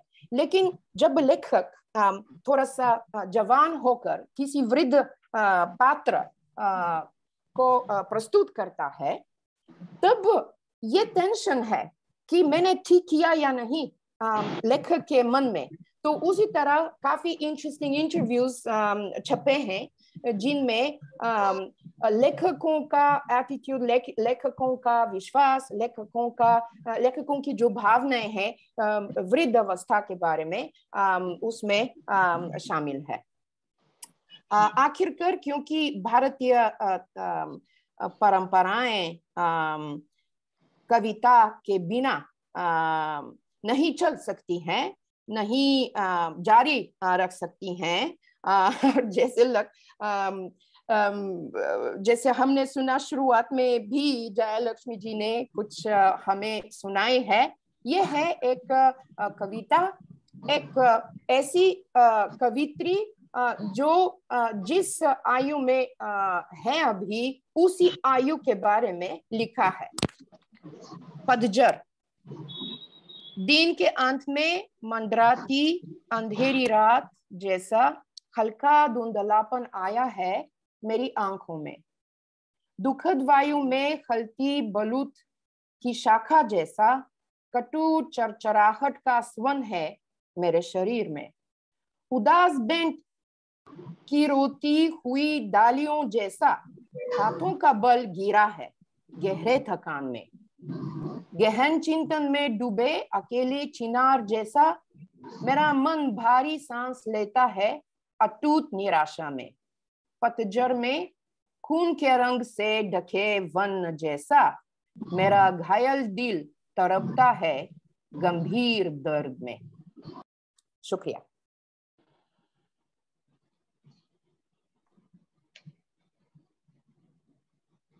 मैडम वाकई बहुत बढ़िया है आपका व्याख्यान। हम बहुत गदगद हो गए। बहुत अच्छी तरह आपने प्रकाश डाला। जो भी आपने बताया विस्तार पूर्वक हमें बहुत बहुत अच्छा लगा। जैसे आपकी मातृभाषा हिंदी नहीं, फिर भी आपने हिंदी पर इतना अधिकार दिखाया, इतनी अच्छी तरह, इतने भावुकता के साथ आपने जो समझाया, हम बहुत भाव विभोर हो गए। बहुत बहुत धन्यवाद मैडम। हम धन्य हो गए। आपके जो शुभ वक्तव्य से बहुत अच्छा लगा। मैं अभी कृष्ण बाबू जी से निवेदन करती हूँ मैडम जी के जो व्याख्यान पर अपना विचार प्रदान करें पाँच मिनट में। पेपर प्रेजेंटर्स तो तैयार हैं इसलिए। सर कृष्ण बाबू जी हमारे को कन्वीनर हैं इस संस्था के जो वाजा के प्रेसिडेंट रहे। और हमारे जो आज के इस वेबिनार के को कन्वीनर अभी तक उन्हीं के सहयोग से हम दस वेबिनार्स का सफलतापूर्वक आयोजन किए। और अभी सर के सारथ्य में फिर से दसवा जो वेबिनार हम कर रहे हैं बहुत अच्छा लग रहा है। सर कृपया आप बोलिए। डॉक्टर प्रोफेसर जयलक्ष्मी जी मेरी आवाज़ सुनाई दे रही है? हाँ हाँ। हाँ जी। आपने मुझे पाँच मिनट का समय दिया है मैं चार मिनट में उसे संपन्न कर दूँगा। ठीक है ना? मेरी आवाज़ सुनाई दे रही है? हाँ हाँ सुनाई दे रही है सर। राइट प्रोफेसर गैब्रियाला का जो व्यापक एवं अत्यंत प्रभाव, प्रभावी वक्तव्य हम सब लोगों ने सुना, उसमें उन्होंने वृद्धावस्था की विविध दशाओं और दिशाओं का व्यापक विश्लेषण किया और हिंदी कथा साहित्य के अंतर्गत उसके स्वरूप को समझाने का समग्र प्रयास किया। वास्तव में जैसे उन्होंने कहा और आशीर्वाद कहानी का उदाहरण भी दिया और दो कहानियों के मध्य जो तुलनात्मक दृष्टि से अंतर हो सकता है, उसे उन्होंने स्पष्ट किया और पाश्चात्य जगत में तथा भारतीय जगत में दोनों ही क्षेत्रों में इस वृद्धावस्था से संबंधित स्थितियों के बारे में, कहानियों के अंतर्गत किस प्रकार का वर्णन चित्रण किया गया। उन्होंने व्यापक विवरण दिया है। वह अत्यंत उपयोगी एवं प्रशंसनीय वक्तव्य है। इसमें कोई शक नहीं है। वास्तव में हिंदी कथा साहित्य के अंतर्गत प्रेमचंद से लेकर नासिरा शर्मा तक, यानी कि लगभग दो शताब्दियों में व्यापक वृद्ध विमर्श का विवेचन विश्लेषण संपन्न हुआ। इसमें कोई शक नहीं है। वास्तव में वृद्धों के प्रति सहानुभूति दिखा, दिखाने की आवश्यकता का व्यापक उल्लेख किया जाता है। कभी कभी वृद्धों में जो नकारात्मक चिंतन होता है, उसके भी स्वरूप का वर्णन करके उन लोगों को उस नकारात्मक चिंतन से मुक्त करके, एक सकारात्मक चिंतन से समाज की बौद्धिक एवं आर्थिक सेवा करने के लिए प्रेरित और प्रोत्साहित करने की आवश्यकता का अनुभव किया जाता है। नासरा शर्मा का जो ज़ीरो रोड नामक एक कहानी, एक उपन्यास है, उसमें राम प्रसाद करके एक उसका नायक या उसके एक व्यक्ति है, उसकी धर्मपत्नी राधा रानी है। वह नौकरी करते समय घर में कोई विशेष ध्यान नहीं देता। नौकरी उसके तीन बच्चे हैं। पहला पहला बेटा सिद्धार्थ है। तीनों को थोड़ा बहुत पढ़ाता है। सिद्धार्थ पढ़कर दुबई चला जाता है। वहाँ से पैसे भेजता रहता है। लेकिन ये अपने सेवा अपनी सेवानिवृत्ति के पश्चात घर में कोई पैसा ठीक तरह से नहीं देता।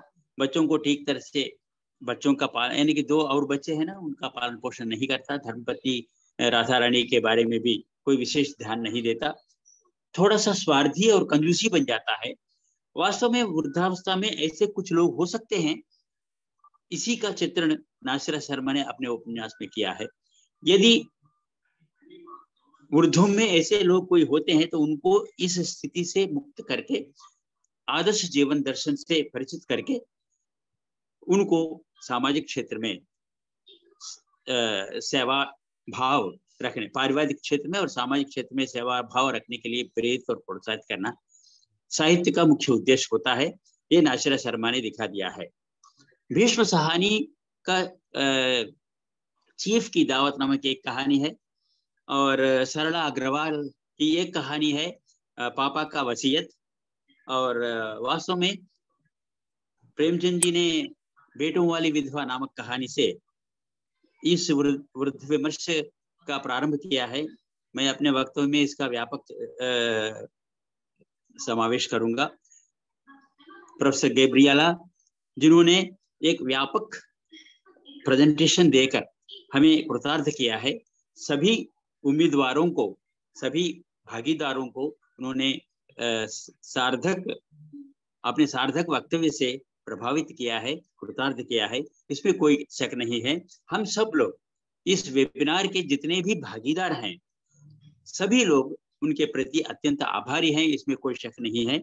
उनका वक्तव्य स्मरणीय है। उसके क्योंकि अभी रिकॉर्डिंग भी किया जा रहा है तो उसके अंशों को लेकर फिर से चर्चा की जा सकती है, इसमें कोई शक नहीं है। हम सब लोगों को, क्योंकि महाभारत का उल्लेख किया है शिवेंद्र प्रसाद द्विवेदी जी ने, उसमें ध्रुतराष्ट्र भी एक वृद्ध था।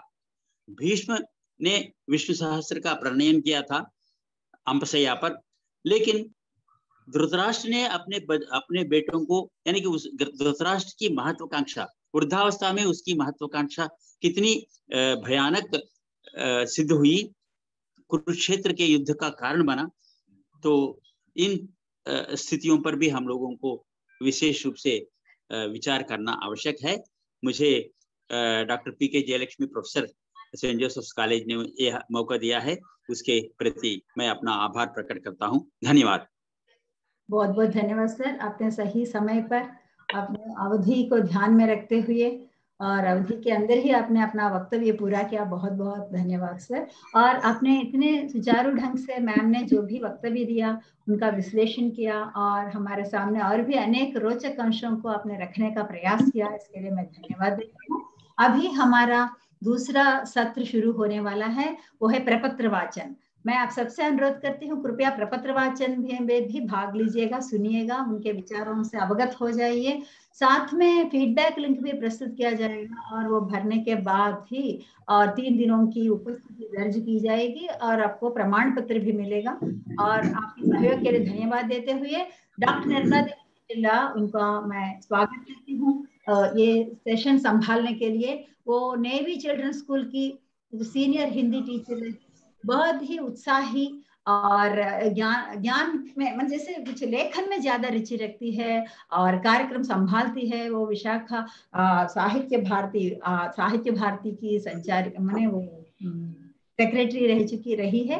साथ में और वाजा की भी सेक्रेटरी रही, बहुत सारे कार्यक्रमों को बहुत अच्छी तरह संचालन करती है। और साथ में हमारी सहयोगी है, जो भी, जब भी हम कुछ भी प्रस्ताव रखते हैं वेबिनार के संदर्भ में हो या अनुवाद के क्षेत्र में हो, साथ मिलकर काम करते हैं मुझे यकीन है, जब भी निर्मला आती है और हमारे जो इसकी शोभा भी ज़रूर बढ़ती है। बहुत बहुत धन्यवाद निर्मला। जैसे बुलाते ही तुम आई हो, बहुत अच्छा लग रहा है। और कार्यभार संभालो। आज केवल चार ही लोगों का प्रपत्र वाचन होगा, क्योंकि आज हमारा कुछ इनागरल सेशन कुछ ज़्यादा हो गया। कल तो बहुत सारे लोगों को मौका मिलेगा। कृपया ध्यान दीजिए जमुना जी, लिंगम चिरंजीवी जी, अनिता और अरुणा जी को आज मौका मिलने वाला है। अगर समय मिले तो और भी लोग, लिस्ट में है, उनका नाम भी मैं बोलेंगे पाँच या छह मिनट से ज़्यादा। बहुत बहुत धन्यवाद। निर्मला जी, आइए मंच संभालिए। इतिहास की गति में परंपरा और आधुनिकता का द्वंद्व या तो स्वाभाविक है। जब द्वंद्व में होता है तो समस्याएँ उत्पन्न होती ही हैं। नमस्कार। डॉक्टर आचार्य पी के जयलक्ष्मी जी, मेरे गुरु जी कृष्ण बाबू सर और गब्रियाल मैम और उपस्थित गणमान्य हिंदी साहित्य प्रेमी, हिंदी साहित्य सेवी, सभी का सादर प्रणाम करती हूँ। और तन्हाई तन्हाई तन्हाई। जब हम बूढ़े हो जाते हैं, लगता है कि हम अकेले हैं। तन्हाई में है। हमारे यहाँ जो, हमारी जो सत्ता जो है, वो छीनी गई है। अब तक जो हमारे आगे पीछे हमारे बच्चे घूमते हैं, वो अभी उनके बच्चों के पीछे भाग रहे हैं। हमें कोई ध्यान नहीं देता है। प्रकार अभद्र भाव, सुरक्षा भाव बहुत बढ़ जाते हैं, जिससे बहुत समस्याएँ उत्पन्न होती हैं। हमें लगता है कि ये बुज़ुर्ग जो है, उनके अनुभव से हमें अभी कुछ लेना देना नहीं है। लेकिन बुज़ुर्ग सोचते हैं कि हमें उनके अनुभव लेने चाहिए। तो इसे टकरार में हिंदी साहित्य में ही नहीं, भारतीय साहित्य में भी नहीं, बल्कि विश्व साहित्य में बहुत सारे कहानियाँ, उपन्यास बने हैं। चलिए, आज सुनते हैं उन उपन्यासों को। अभी हमने गबरियाल मैम के द्वारा सुना है यशपाल जी की रचना के बारे में, और डॉक्टर कृष्ण बाबू सर जी भी ने सुनाया है। चीफ की दावत है, हरिहर काका मिथिलेश्वर का है, सोमा बुआ है, इतनी सारी कहानियाँ हैं, और हम प्रपत्र वाचन से आगे सुनते हैं। डॉक्टर जमुना कृष्णराज रिटायर्ड विश्रांत प्राप्त बीएसएनएल की हिंदी अधिकारिणी चेन्नई की निवासी लेखिका एवं अनुवादक का मैं स्वागत करती हूँ कि वे अपना प्रपत्र वाचन पढ़े सुनाए अपने विचार प्रकट करें। समय भी बताना। जी आपका स्वागत है।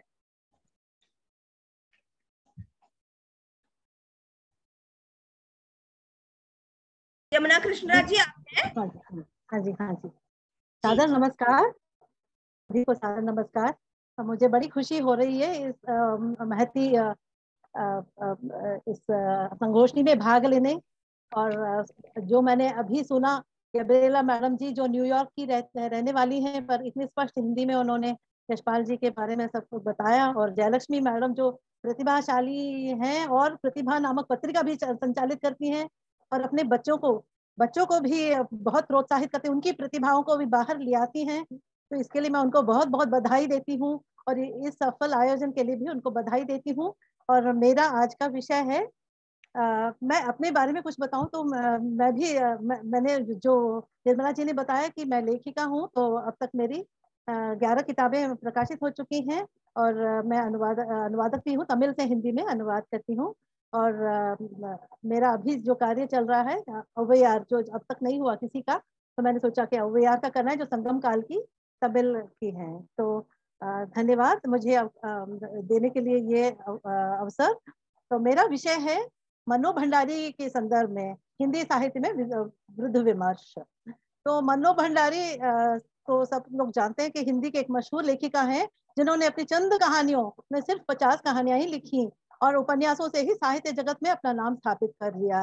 उनकी कहानियाँ प्राय यथार्थ पर ही आधारित हैं, जिनमें आधुनिक काल की सामाजिक एवं पारिवारिक समस्याएँ प्रत्यक्ष या परोक्ष रूप से चित्रित हुई हैं। क्योंकि इनके कहानियों में बुज़ुर्ग की समस्याएँ समस्याओं को चित्रण हुआ है, अतः इस प्रस्तुति में उनका उल्लेख प्रासंगिक है। संयुक्त परिवारों में बुज़ुर्गों की समस्या तो बहुत बड़ी समस्या है। संयुक्त परिवार की प्रमुख विशेषता तो यह है कि इसमें एक से अनेक पीढ़ी के लोग रहते हैं। एक आदर्श संयुक्त परिवार में इन पीढ़ियों के बीच सामूहिक सद्भावना बनी रहती है और परिवार की वरिष्ठतम पीढ़ी सभी सदस्यों का सही मार्गदर्शन कराती है और संपूर्ण परिवार की एकता को बनाए रखने में प्रयत्नशील रहती है। किंतु आज स्थितियाँ काफ़ी परिवर्तित हो चुकी हैं। समाज और परिवार में नई पीढ़ी के कई सदस्य शिक्षित हो चुके हैं और अलग ढंग से सोच विचार करने लगे हैं। अनेक शिक्षित युवकों में अभिप्राय है कि पुरानी पीढ़ी के लोग दकियानूस या पुरापंथी विचारधारा वाले होते हैं और उनका अंधानुकरण वे नहीं करना चाहते। इन वैचारिक भिन्नता से उत्पन्न समस्याओं के कारण मूल्य विघटन की स्थिति उत्पन्न हुई है जिसमें जिससे समष्टि परिवार व्यष्टि परिवारों में परिवर्तित हो, होते जा रहे हैं। आज इसी कारण अनेक बुज़ुर्ग वृद्धाश्रमों में रहने को मजबूर हैं। संयुक्त परिवार में प्राय बच्चों की परवरिश को लेकर बहसें छिड़ जाती हैं। बच्चों के प्रति अपनी असीम प्यार के कारण दादा दादी उन्हें काफ़ी छूट देते हैं। अन्यथा पारंपरिक ढंग से उनकी परवरिश करने के उद्देश्य से काफ़ी सख्त पेश आते हैं। किंतु उनके बेटे बहु या बच्चों की परवरिश के प्रति अलग विचार होता है। तो ऐसी स्थिति में वैचारिक मतभेद के कारण परिवार में समस्याएँ उत्पन्न होती हैं। अंकुश मनु भंडारी की कहानी है, अंकुश। कहानी है, बुज़ुर्ग बीना के ससुर अपने पोते नाती की गैर ज़िम्मेदारी, अपना काम खुद संभालने की अक्षमता अपने नौकरों के प्रति अवहेलना की मनोवृत्ति आदि के लिए अपनी बहू बीना को कटघरे में ठहराते हैं। वे चाहते हैं कि बीना अपनी बेटी पम्मी को रसोई के काम सिखाए और अपना काम खुद करने की आदत बच्चों में डलवाएँ। बीना पापा की इन बातों से खूब खींच उठती है। यद्यपि वो डटकर उनका विरोध नहीं कर पाती, फिर भी अपनी सारी कुंठाएँ व्यक्त करती हुई अपनी सहेली से कहती है, समझ में नहीं आता ये लोग दूसरों की ज़िंदगी में इतना दखल क्यों देते हैं? अरे भाई तुमको जैसे रहना रहो रहो। हम जैसे रह रहे हमें रहने दो। हम कोई बच्चे नहीं है जो बात बात में उपदेश पिलाते रहोगे। अपने बच्चों की परवरिश के संबंध में भी वह अपने बुज़ुर्ग ससुर से कुछ सुनना नहीं चाहती। अपना विरोध प्रकट करती हुई वह कहती है, आखिर क्या चाहते हैं पापा? डंडा लेकर सारे दिन बच्चों को कुर्ती पीती रहूँ? मैंने बच्चों को कुछ सिखाए नहीं। मेरे बच्चे उज्जड़ गंवा रहे हैं तो बस। इस प्रकार प्राय सास ससुर या परिवार का बुज़ुर्ग अपने अनुभवों के आधार पर कुछ भविष्यगत विचारों को व्यक्त करते भी हैं तो आज की बहू उसे सही मायने में समझती नहीं, पर इसका उल्टा अर्थ ही निकालती है। परिणाम स्वरूप तनाव उत्पन्न होने की स्थिति मनो भंडारी की कहानी मजबूरी में भी चित्रित हुई है। पिछले जमाने में बच्चों को पाँच वर्ष की आयु में स्कूल में भर्ती करवाते थे। बुज़ुर्गों की मान्यता थी कि इस उम्र तक बच्चे काफ़ी उछल कूद लें, किंतु अब जमाना बदल गया है। आधुनिक पीढ़ी के माता पिता अपने बच्चों के जन्म होते ही उसे स्कूल में भर्ती कर भर्ती करने की योजना बना डालते हैं। उन्हें विद्या धन से संपन्न करवाने के लिए खुद संकट झेल लेते हैं। और अपनी इस लक्ष्य की सिद्धि के लिए कोई कसर नहीं छोड़ते हैं।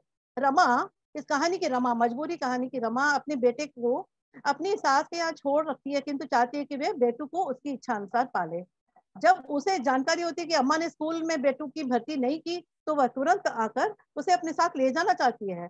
यद्यपि उसकी सास उसे सांत्वना देती है कि वे बेटू को गवार नहीं रहने देंगी, क्योंकि वे अपने पोती को, पोते को बेटे से भी बढ़कर प्यार करती है। उनके अनुसार मूल से ब्याह, ज़्यादा प्यारा होता है। फिर भी बहू रमा, उनका कहना एक न मानती, वह अपनी सास से स्पष्ट कह देती है, यदि वह सचमुच बेटू को भला, बेटू की भला का भला चाहती है तो उसके साथ भेज दें, और उसके साथ दुश्मनी निभानी है तो अपने पास रख लें। इतने कठोर शब्दों का बौछार सह न पाकर अम्मा रो पड़ती है और कहती है तू मेरे प्यार का परीक्षा लेना चाहती है बहू, इससे अच्छा तो तू मेरा प्राण ले ले। प्राय संयुक्त परिवारों में इसी विषय पर मन मुटाव की स्थिति उत्पन्न होती है कि बुज़ुर्ग दादा दादियों का अपने पोते नातियों की देखभाल करनी पड़ती है। जब बुज़ुर्गों में अपनी परिवार के प्रति आत्मीयता घट जाती है तो अपने पोते नातियों के प्रति इसी इसी वात्सल्य प्रेम के अभाव में इन परिवारों का सुघटित रूप विकृत होने लगता है। संयुक्त परिवार में बुज़ुर्गों की संसारयुक्त अनुशासन प्रियता के ठीक विरुद्ध आधुनिक युवा पीढ़ी की इन सभी विषयों के प्रति वैमनस्यता, उनके बीच पीढ़ी अंतराल का कारण बनती है, जो आज एक सामाजिक समस्या का रूप धारण कर चुकी है।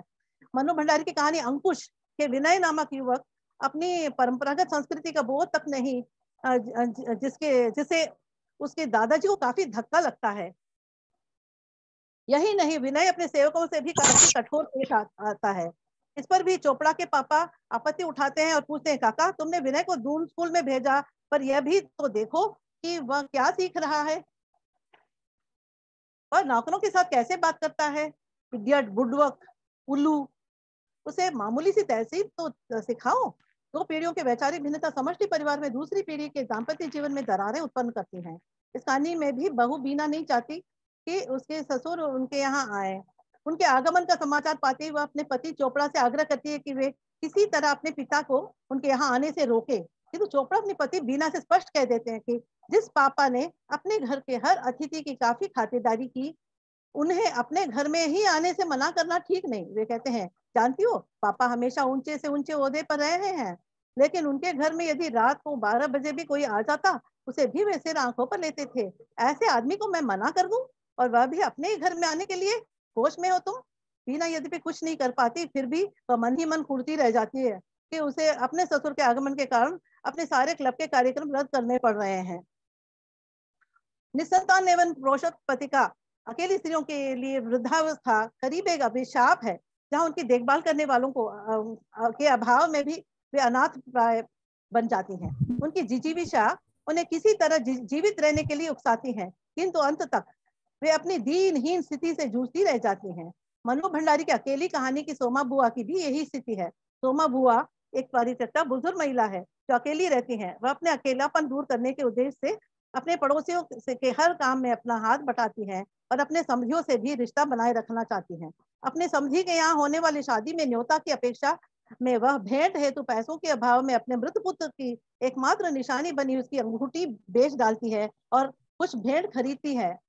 किंतु शादी में शामिल होने के लिए सच दस कर तैयार बैठी सोमा बुआ को धोखा खाना पड़ता है जब समझियों के यहाँ से कोई न्योता नहीं आता।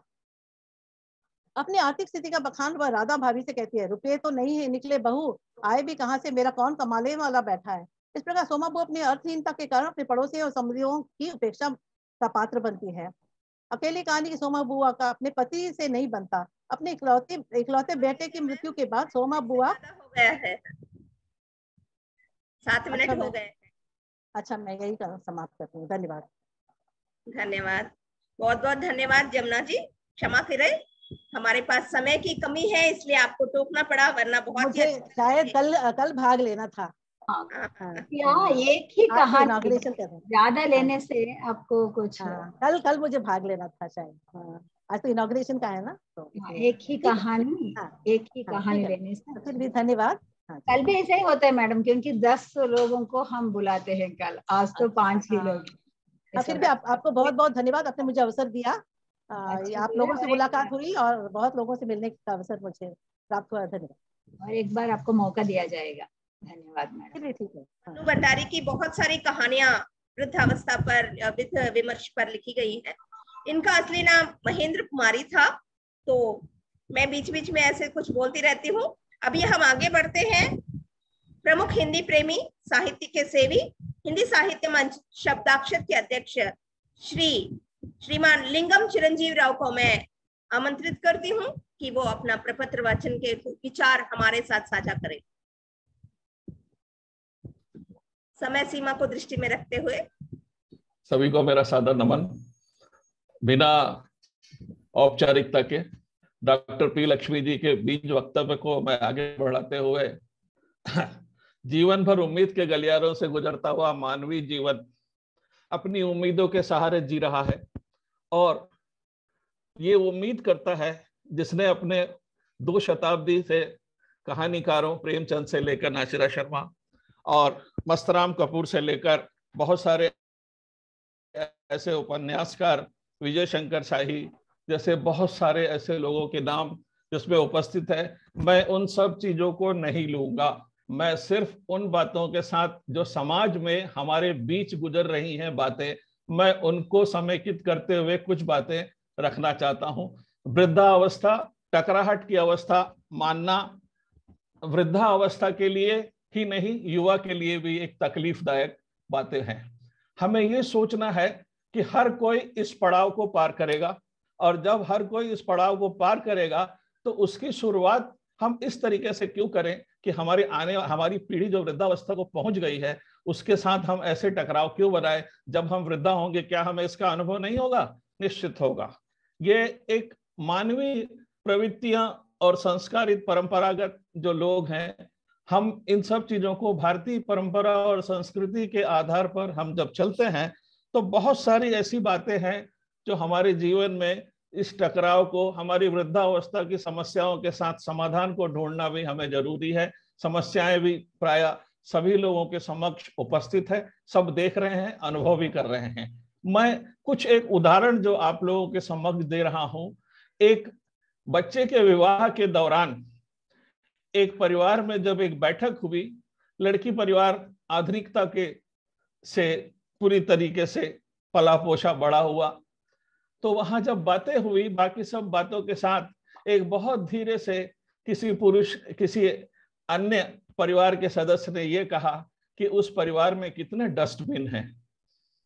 मैं ये शब्द इसलिए उपयोग कर रहा हूँ, आप इस चीज़ को समझ लीजिए कि विवाह निर्मित परिस्थितियों को ध्यान में रखते हुए भी अगर इस तरीके की बातें वृद्धों के बारे में की जाती है कि उस परिवार में कितने डस्टबिन हैं क्या हम वृद्ध डस्टबिनों की तरह समाज में जी रहे हैं? एक। दूसरे एक उदाहरण मैं आपको दे रहा हूँ। कुंभ का पर्व हमारी संस्कृति का ऐसा पर्व है जब हम हज़ारों लाखों की संख्या में स्नान करने जाते हैं। पर वहाँ की स्थिति हम आंकड़ों में देख ले तो जब कुंभ का पर्व समाप्त होता है तो वहाँ हज़ारों की संख्या में वृद्धों को वहाँ छोड़कर लोग चले जाते हैं। और उस अवस्था డబ్బుల కోసం వచ్చిందిరా నాకు उस తెలీదు अवस्था को उस अवस्था को सोचिए कि क्या वृद्ध अरे इधर इसीलिए बात- समाज समाज में हमारे पूरे जीवन काल में हमारी सुरक्षा करते हुए आगे और एक अंतिम अ, स्थिति तक पहुंचते हैं तो ये सारी बातें हैं इसके अलावा भी और अखबार का हर पन्ना पिछले कई दशकों से आधुनिकता के होड़ में अन- आधुनिकीकरण और आर्थिक समस्याओं के साथ जूझते हुए समाज में जितनी बातें हमारे सामने आई हैं, वो सारी बातें हम अखबारों के पन्नों में, अखबार भी एक साहित्य का हिस्सा है और अखबार जो है, हर दिन का अखबार ही हमें साहित्य की ओर ले जाता है। जो अगले साहित्य में हमें उपन्यासों और कहानियों में वही सारी चीज़ें मिलती हैं, जो अखबारों में छप चुकी होती हैं। सिर्फ़ फ़र्क पड़ता है कि वहाँ एक कहानी के रूप में होता है, यहाँ एक सूचना या एक खबर के रूप में होती है। तो इस तरीके से जब हम सोचते हैं तो वृद्धों का सम्मान करना बहुत ज़रूरी है। मैं बस अपने इस छोटे से वक्तव्य को और अन्य वक्ताओं को मेरा समय अगर बचा हो तो देते हुए मैं उसका उपसंहार करते हुए दो लाइन कह रहा हूँ। समाज के सभी वर्ग और विशेषकर युवा पीढ़ी से यह अपेक्षा है कि अपने रास्ते तय करते हुए, अपने रास्ते तय करते हुए वर्तमान समय की मांग है कि आज वृद्धावस्था को एक नई दृष्टि से समझने व देखने की आवश्यकता है, जिसमें बुज़ुर्गों के प्रति संवेदना के साथ उनका आदर व सम्मान का होना भी उतना ज़रूरी है, उतना ज़रूरी है। धन्यवाद आप सभी को यह अवसर के लिए। बहुत बहुत धन्यवाद, सर। आपने निर्णय, निर्णित समय में बहुत अच्छी बातें कह दी है कि आजकल वृद्धा जो है डस्टबिन जैसे ही हो गए हैं और ये समय को स्वीकार करना। ना युवा समय को स्वीकार करती है, ना अपना भविष्य देख पाती है और ना ही बुज़ुर्ग अपने समय को स्वीकार कर लेते हैं। जैसे छड़ी का प्रतीक में उन्होंने छड़ी अपना ली है। बहुत बहुत धन्यवाद। अब मैं आगे बढ़ते हुए डॉक्टर कविता सिंह प्रभा, हिंदी की अध्यापिका एवं लेखिका हैं आप कर्नाटक बेंगलोर से हैं। मैं उन्हें आमंत्रित करती हूँ कि अपने वृद्धावस्था वृद्ध विमर्श पर अपने विचार व्यक्त करें। स्वागत है आपका कविता सिंह प्रभा जी। नहीं हो पाएँगी तो हम आगे बढ़ते हैं शायद कविता सिंह नहीं तो हेलो। हाँ अब मैं आगे बढ़ते हुए डॉक्टर अनिता सहायक प्राचार्य गायत्री विद्या महापरिषद विश्वविद्यालय विशाखापट्टनम से हैं आप। तो डॉक्टर अनिता को मैं आमंत्रित करती हूँ कि वे वृद्ध विमर्श पर आज के विषय पर अपने कुछ विचार व्यक्त करें। डॉक्टर अनिता जी आपका स्वागत है। अंतरराष्ट्रीय। मेरी आवाज़ सुनाई दे रही ना मैडम? हाँ हाँ मैम सुनाई दे रही है। बोलिए। जी। अंतरराष्ट्रीय संगोष्ठी में उपस्थित विद्वत को मेरा सादर प्रणाम। विशेष रूप से doctor P K Jayalakshmi madam जी को शत नमन। मेरा विषय है, मैं डॉक्टर अनीता, गायत्री विद्या परिषद में सहायक प्राध्यापिका के रूप में कार्यरत हूँ। मेरा विषय है, वृद्धावस्थाओं की समस्या एवं एक झलक, एक विश्लेषण के रूप में प्रस्तुत करना चाहती हूँ। बुढ़ापा मानव जीवन के विकास का अंतिम चरण है। जीवन का उत्तरार्ध ही वृद्धावस्था है। वृद्ध व्यक्ति अपने जीवन के अंतिम पड़ाव में आनंद एवं दुखमयी परिस्थितियों में कठिनाइयों का अनुभव कर रहे हैं। क्रमशः चिड़चिड़ापन, क्रोध अति भावुकता घृणा को प्रकट करना आदि व्यवहारों पर नियंत्रण कम होते जा रहे हैं। वृद्धावस्था एक धीरे धीरे आने वाली अवस्था है, जो स्वाभाविक व प्राकृतिक घटना है, जिसमें व्यक्ति न केवल शारीरिक व मानसिक दृष्टि से कमज़ोर होता है, अपितु सामाजिक व आर्थिक दृष्टि से शक्तिहीन होते जा रहे हैं। आर्थिक रूप से अगर हम देखने से वृद्धावस्था में शरीर अशक्त हो जाने के कारण बीमारियाँ जल्दी पकड़ लेता है, उनके पास पर्याप्त पैसा होना ज़रूर जातिक स्वतंत्रता बहुत ज़रूरी है। मानसिक रूप से देखने से जैसे जैसे बच्चे बड़े होते हैं युवावस्था में प्रवेश करते हैं अपने अच्छे भविष्य की तलाश में अपने परिवार अपने शहर से दूर जाना पड़ती है। शादी होने के बाद भी दूसरी प्रांत में रह जाते हैं यदि बच्चे विदेश चले जाते हैं तो लौटने में भी साल भर लग जाती है। अतः बुज़ुर्ग दंपति को अपने स्वास्थ्य की देखभाल की करनी पड़ती है अपनी सुरक्षा को लेकर चिंतन सताने लगती हैं। आज मानव स्वच्छंद एवं स्वतंत्र होकर जीना चाहते हैं। बुज़ुर्ग अचानक आए परिवर्तनों को स्वीकार नहीं कर पा रही हैं। उसे अपने समय के जीवन मूल्य ही अच्छे लगते हैं। इस वजह परिवार में सामंजस्य का अभाव उत्पन्न होने लगता है। ये परिस्थितियों बुज़ुर्गों के लिए दुखमयी होते हैं। आज की पीढ़ी ना तो वृद्धों के अनुभवों से कुछ सीखने को तैयार है और ना ही उनके नियंत्रण में रहने को। वैसे दोनों पीढ़ियों की विचारधारा में टकराव को हम देख रहे हैं। बहुत से लोग वृद्धावस्था में मृत्यु से त्रस्त रहते हैं, किंतु यह अविवेक है। जीवन और मौत मौत पर इंसान का कोई अधिकार नहीं है। अक्सर इस अवस्था में पड़ोसी अपने मित्र, अपने परिजन की मौत का समाचार सुनकर या देखने से मन में स्वयं की संभावित मौत का भय सताने लगती है। इस सच्चाई को स्वीकार कर जितने दिन की ज़िंदगी है, उसे प्रसन्नता पूर्वक भय मुक्त होकर जीना चाहे। अंततः मैं कहना चाहती हूँ कि जिस घर में बड़े बुज़ुर्गों को मान दिया जाता है, वह घर कुशल रहता है। वृद्ध जन हमारे घर की बुनियादी हैं। पुरानी पीढ़ी भी अपनी सोच में परिवर्तन लाने का प्रयास करे तो नई पीढ़ी से सामंजस्य बना पाने में सुविधा हो। हमारी संस्कृति बहुत मूल्यवान है। बुज़ुर्ग के घर में रहने से बच्चों को अच्छी संस्कार मिलेगा। पति पत्नी भी एक मर्यादा में रहते हैं। बुढ़ापा की स्थिति का संबंध मनुष्य के मन से है, शरीर से नहीं। बुढ़ापा में भी कई लोग जवानों से भी अधिक सक्षम हैं। एक छोटी सी कविता सुनाना चाहती हूँ। उम्र के इस पड़ाव में जिम्मेदारियाँ पूर्ण पूर्ण कर वे विश्राम चाहते हैं। वृद्ध जन जीवन के अनुभवों का खजाना है। बुज़ुर्ग है तो पहचान है। बुज़ुर्ग है तो रिश्ते हैं। ये तुम्हें खुद से भी प्यार करते हैं। एक, ये तुम्हें खुद से भी प्यार करते हैं। बुज़ुर्गों का प्यार जिसे मिला, वे बहुत खुश नसीब हैं। बुज़ुर्गों का हमेशा करो सम्मान, हमेशा करो सम्मान। इसी से मैं अपना वक्तव्य समाप्त कर रही हूँ। धन्यवाद। बहुत बहुत धन्यवाद अनिता जी।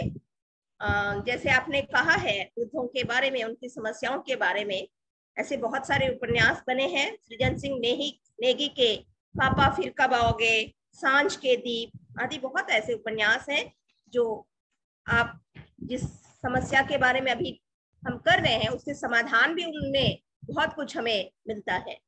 बहुत बहुत धन्यवाद आपको कि आपने सूचना है निर्मला एक सूचना है। हमने फीडबैक फॉर्म रखा है उसमें। कृपया केवल 22 लोगों ने भरा है बाकी लोगों ने ध्यान नहीं दिया। बहुत ही तन्मयता पूर्वक आप सुन रही है हमें बहुत अच्छा लग रहा है लेकिन फीडबैक भी आवश्यक है ना? इसलिए कृपया भर दीजिए। दस मिनट में हम खत्म करने वाले हैं। कृपया फीडबैक फॉर्म भरना। मैम आज्ञा है तो लोग लिंक, लिंक दिया गया है चार्ट बॉक्स में देखिए और कृपया भर दीजिए। मैम दो लोग हैं आगे बढ़े हम। हाँ बुलाना उनको। और दीप्ति को बोलना वोट ऑफ़ थैंक्स के लिए तैयार रहने। जी जी। धन्यवाद धन्यवाद मैम। अब मैं कार्यक्रम को आगे बढ़ाते हुए डॉक्टर टी अरुणा कुमारी जो हिंदी की सहाय आचार्य है शासकीय महाविद्यालय तेलंगाना से वो आमंत्रित करती हूँ कि वे अपने प्रपत्र में जो भी अमूल्य विषय लिखे हैं उनमें से कुछ हमारे साथ साझा करें। आपका स्वागत है अरुण कुमारी जी। धन्यवाद मैम। सुनाई दे रहा है। हाँ जी हाँ जी सुनाई दे बहुत धन्यवाद मैम।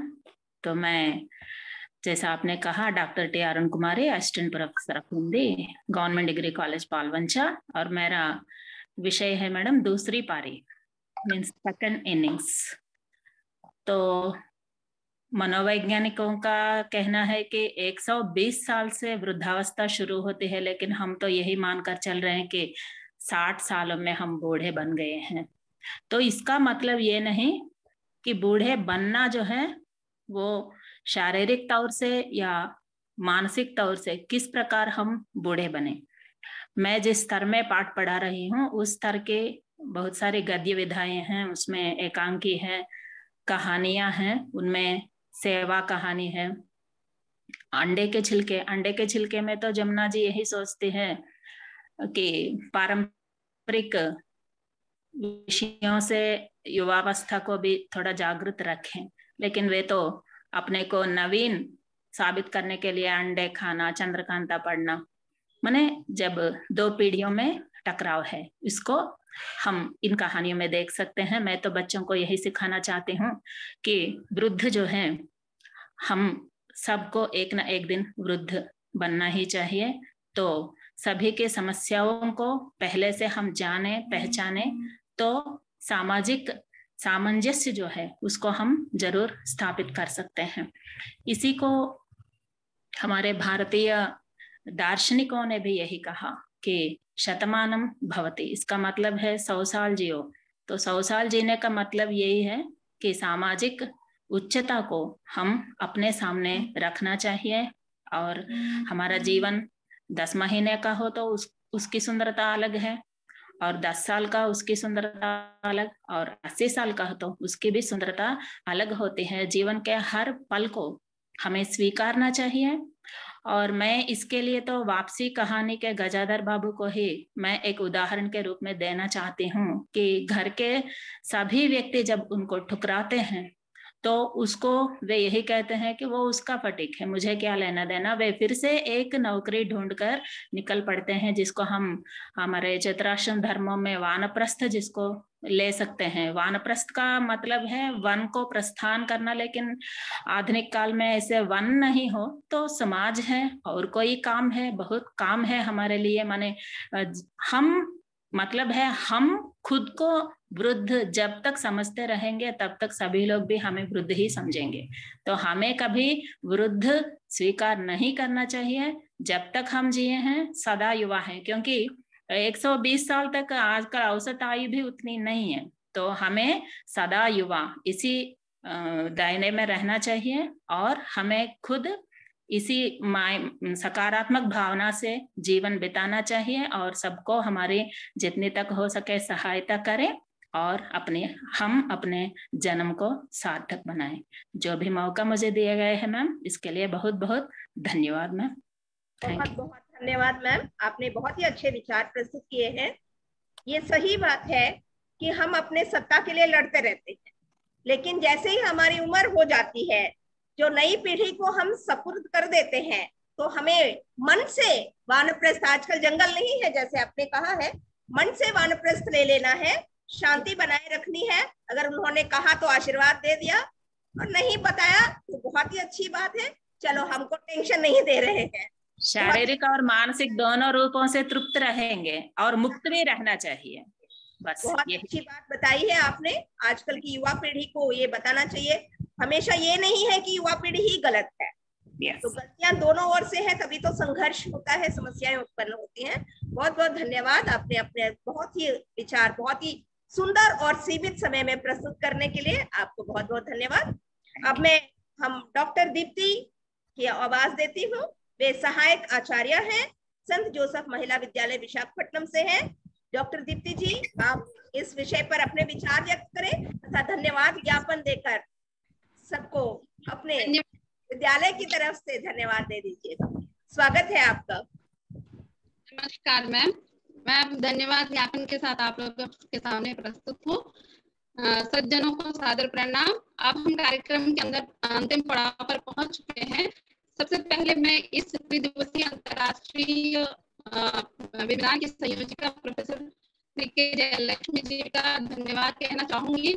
आभार मानना चाहूँगी जिन्होंने इस भव्य कार्यक्रम के माध्यम से देश विदेश की हिंदी प्रेमियों को जोड़ने का बेड़ा उठाया है। धन्यवाद मैम सबसे पहले आपको और इस संदर्भ में द्विभाषा विभाग संत जोसफ महिला महाविद्यालय, विशाखापट्टनम, आंध्र प्रदेश तथा न्यूयॉर्क विश्वविद्यालय यूएसएएम लेखक और पत्रकार संस्था बाजा इंडिया के प्रति आभार व्यक्त करना चाहती हूँ, जिन्होंने वेबिनार के लिए हमें एक वेदी प्रदान की है। आज का मुख्य विषय हिंदी कथा साहित्य के विरुद्ध का जीवन दर्शन अत्यंत सफल रहा, जहाँ तक मेरा मानना है। इसका श्रेय हमारे श्रीमान शिवेंद्र प्रकाश द्विवेदी जी को धन्यवाद कहना चाहूँगी, जिन्होंने कार्यक्रम का आयोजन में अपना पूरा पूरा योगदान दिया। धन्यवाद जी आपको। और मुख्य रूप से आज मैं मुख्य प्रोफेसर का धन्यवाद ज्ञापन करूँगी। और तहे दिल से आपका आभार व्यक्त करती हूँ आपने हमारे लिए दिया। धन्यवाद थोड़ा मैं जल्दी जल्दी चाहती हूँ क्योंकि है आप लोग सुन रहे हैं? हाँ जी हाँ जी। डिस्टर्बेंस आ रहा है दीप्ति। फ़ोन में कुछ गड़बड़ है शायद। हो रहा है नहीं है करने वाली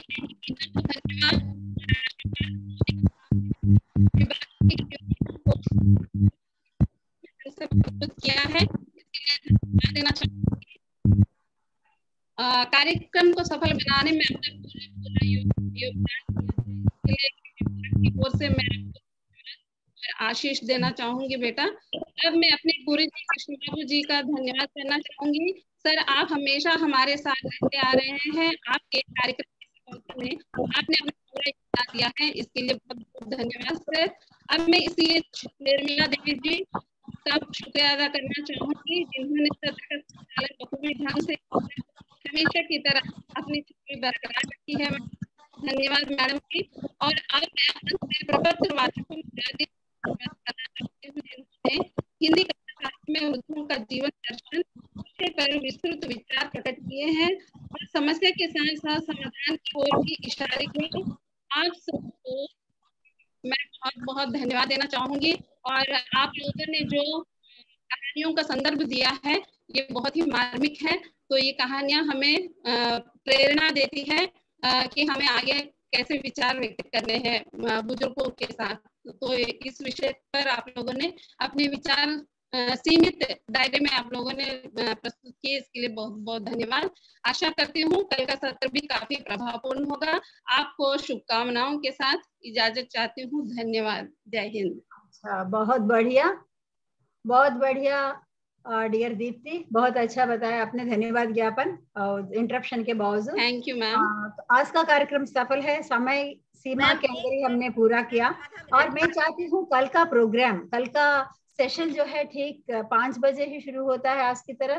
कल हमारे जो वक्ता है मुख्य वक्ता है professor S V S S Narayan Raju central university Tamil Nadu Tiruvarur से आ रही है। और विषय है वृद्धों का नवीन पीढ़ियों के साथ समायोजन एडजस्टमेंट ऐसा होना चाहिए नई पीढ़ी के साथ, जो बुज़ुर्ग पीढ़ी को। और इसके बारे में प्रपत्र वाचन भी होगा। और जो भी इस विषय से संबंधित लेख प्रस्तुत करना चाहते हैं, कल और रात तक मुझे वो लिस्ट भेजिएगा। और कल भी फिर से दस लोगों को दिया जाएगा, मौका मिलेगा। समय सीमा के अंदर ही आपको पूरा करना है। और आज का कार्यक्रम और इसे सफल करने में मैडम गेब्रियाला, प्रोफेसर गेब्रियाला जी का महत्वपूर्ण योगदान है। हम चाहते हैं आने वाले दिनों में भी मैम ऐसा ही आते रहे और हमारे, हमसे संपर्क रखे और अच्छी तरह अपने मंतव्यों से लोगों को प्रभावित करे, खासकर नई पीढ़ी को। और शिवेंद्र प्रकाश द्विवेदी जी के प्रति और हमारे आदरणीय गुरु कृष्ण बाबू जी के प्रति, प्रिय सखी निर्मला देवी और दीप्ति, और इन सबके प्रति मैं आभार व्यक्त करते हुए और प्रपत्र वाचकों को बहुत बहुत धन्यवाद दे रही हूँ। समय के अंदर ही आपने पूरा किया और जो प्रपत्र वाचन कर रही है उनको अलग से प्रमाण पत्र मिलेंगे। बहुत बहुत धन्यवाद। शुभ रात्रि। कल फिर से इसी लिंक पे ठीक पाँच बजे हम फिर मिलेंगे। मैम बहुत धन्यवाद मैम। हमेशा आप कार्यक्रम में मुझे शामिल करती हैं। हाँ तुम हमसे कभी दूर नहीं हो। अलग हूँ आपकी धन्यवाद मैम। अच्छा एक बार और एक बार मैं याद दिलाना चाहती हूँ। कृपया फीडबैक फॉर्म भरना, क्योंकि अभी तक आपने इतनी सहिष्णुता पूर्वक आपने सुना और अपने विचार प्रदान करने के लिए बहुत उतावले हुए, ये सब मैं जानती हूँ। कृपया फीडबैक फॉर्म भी भर के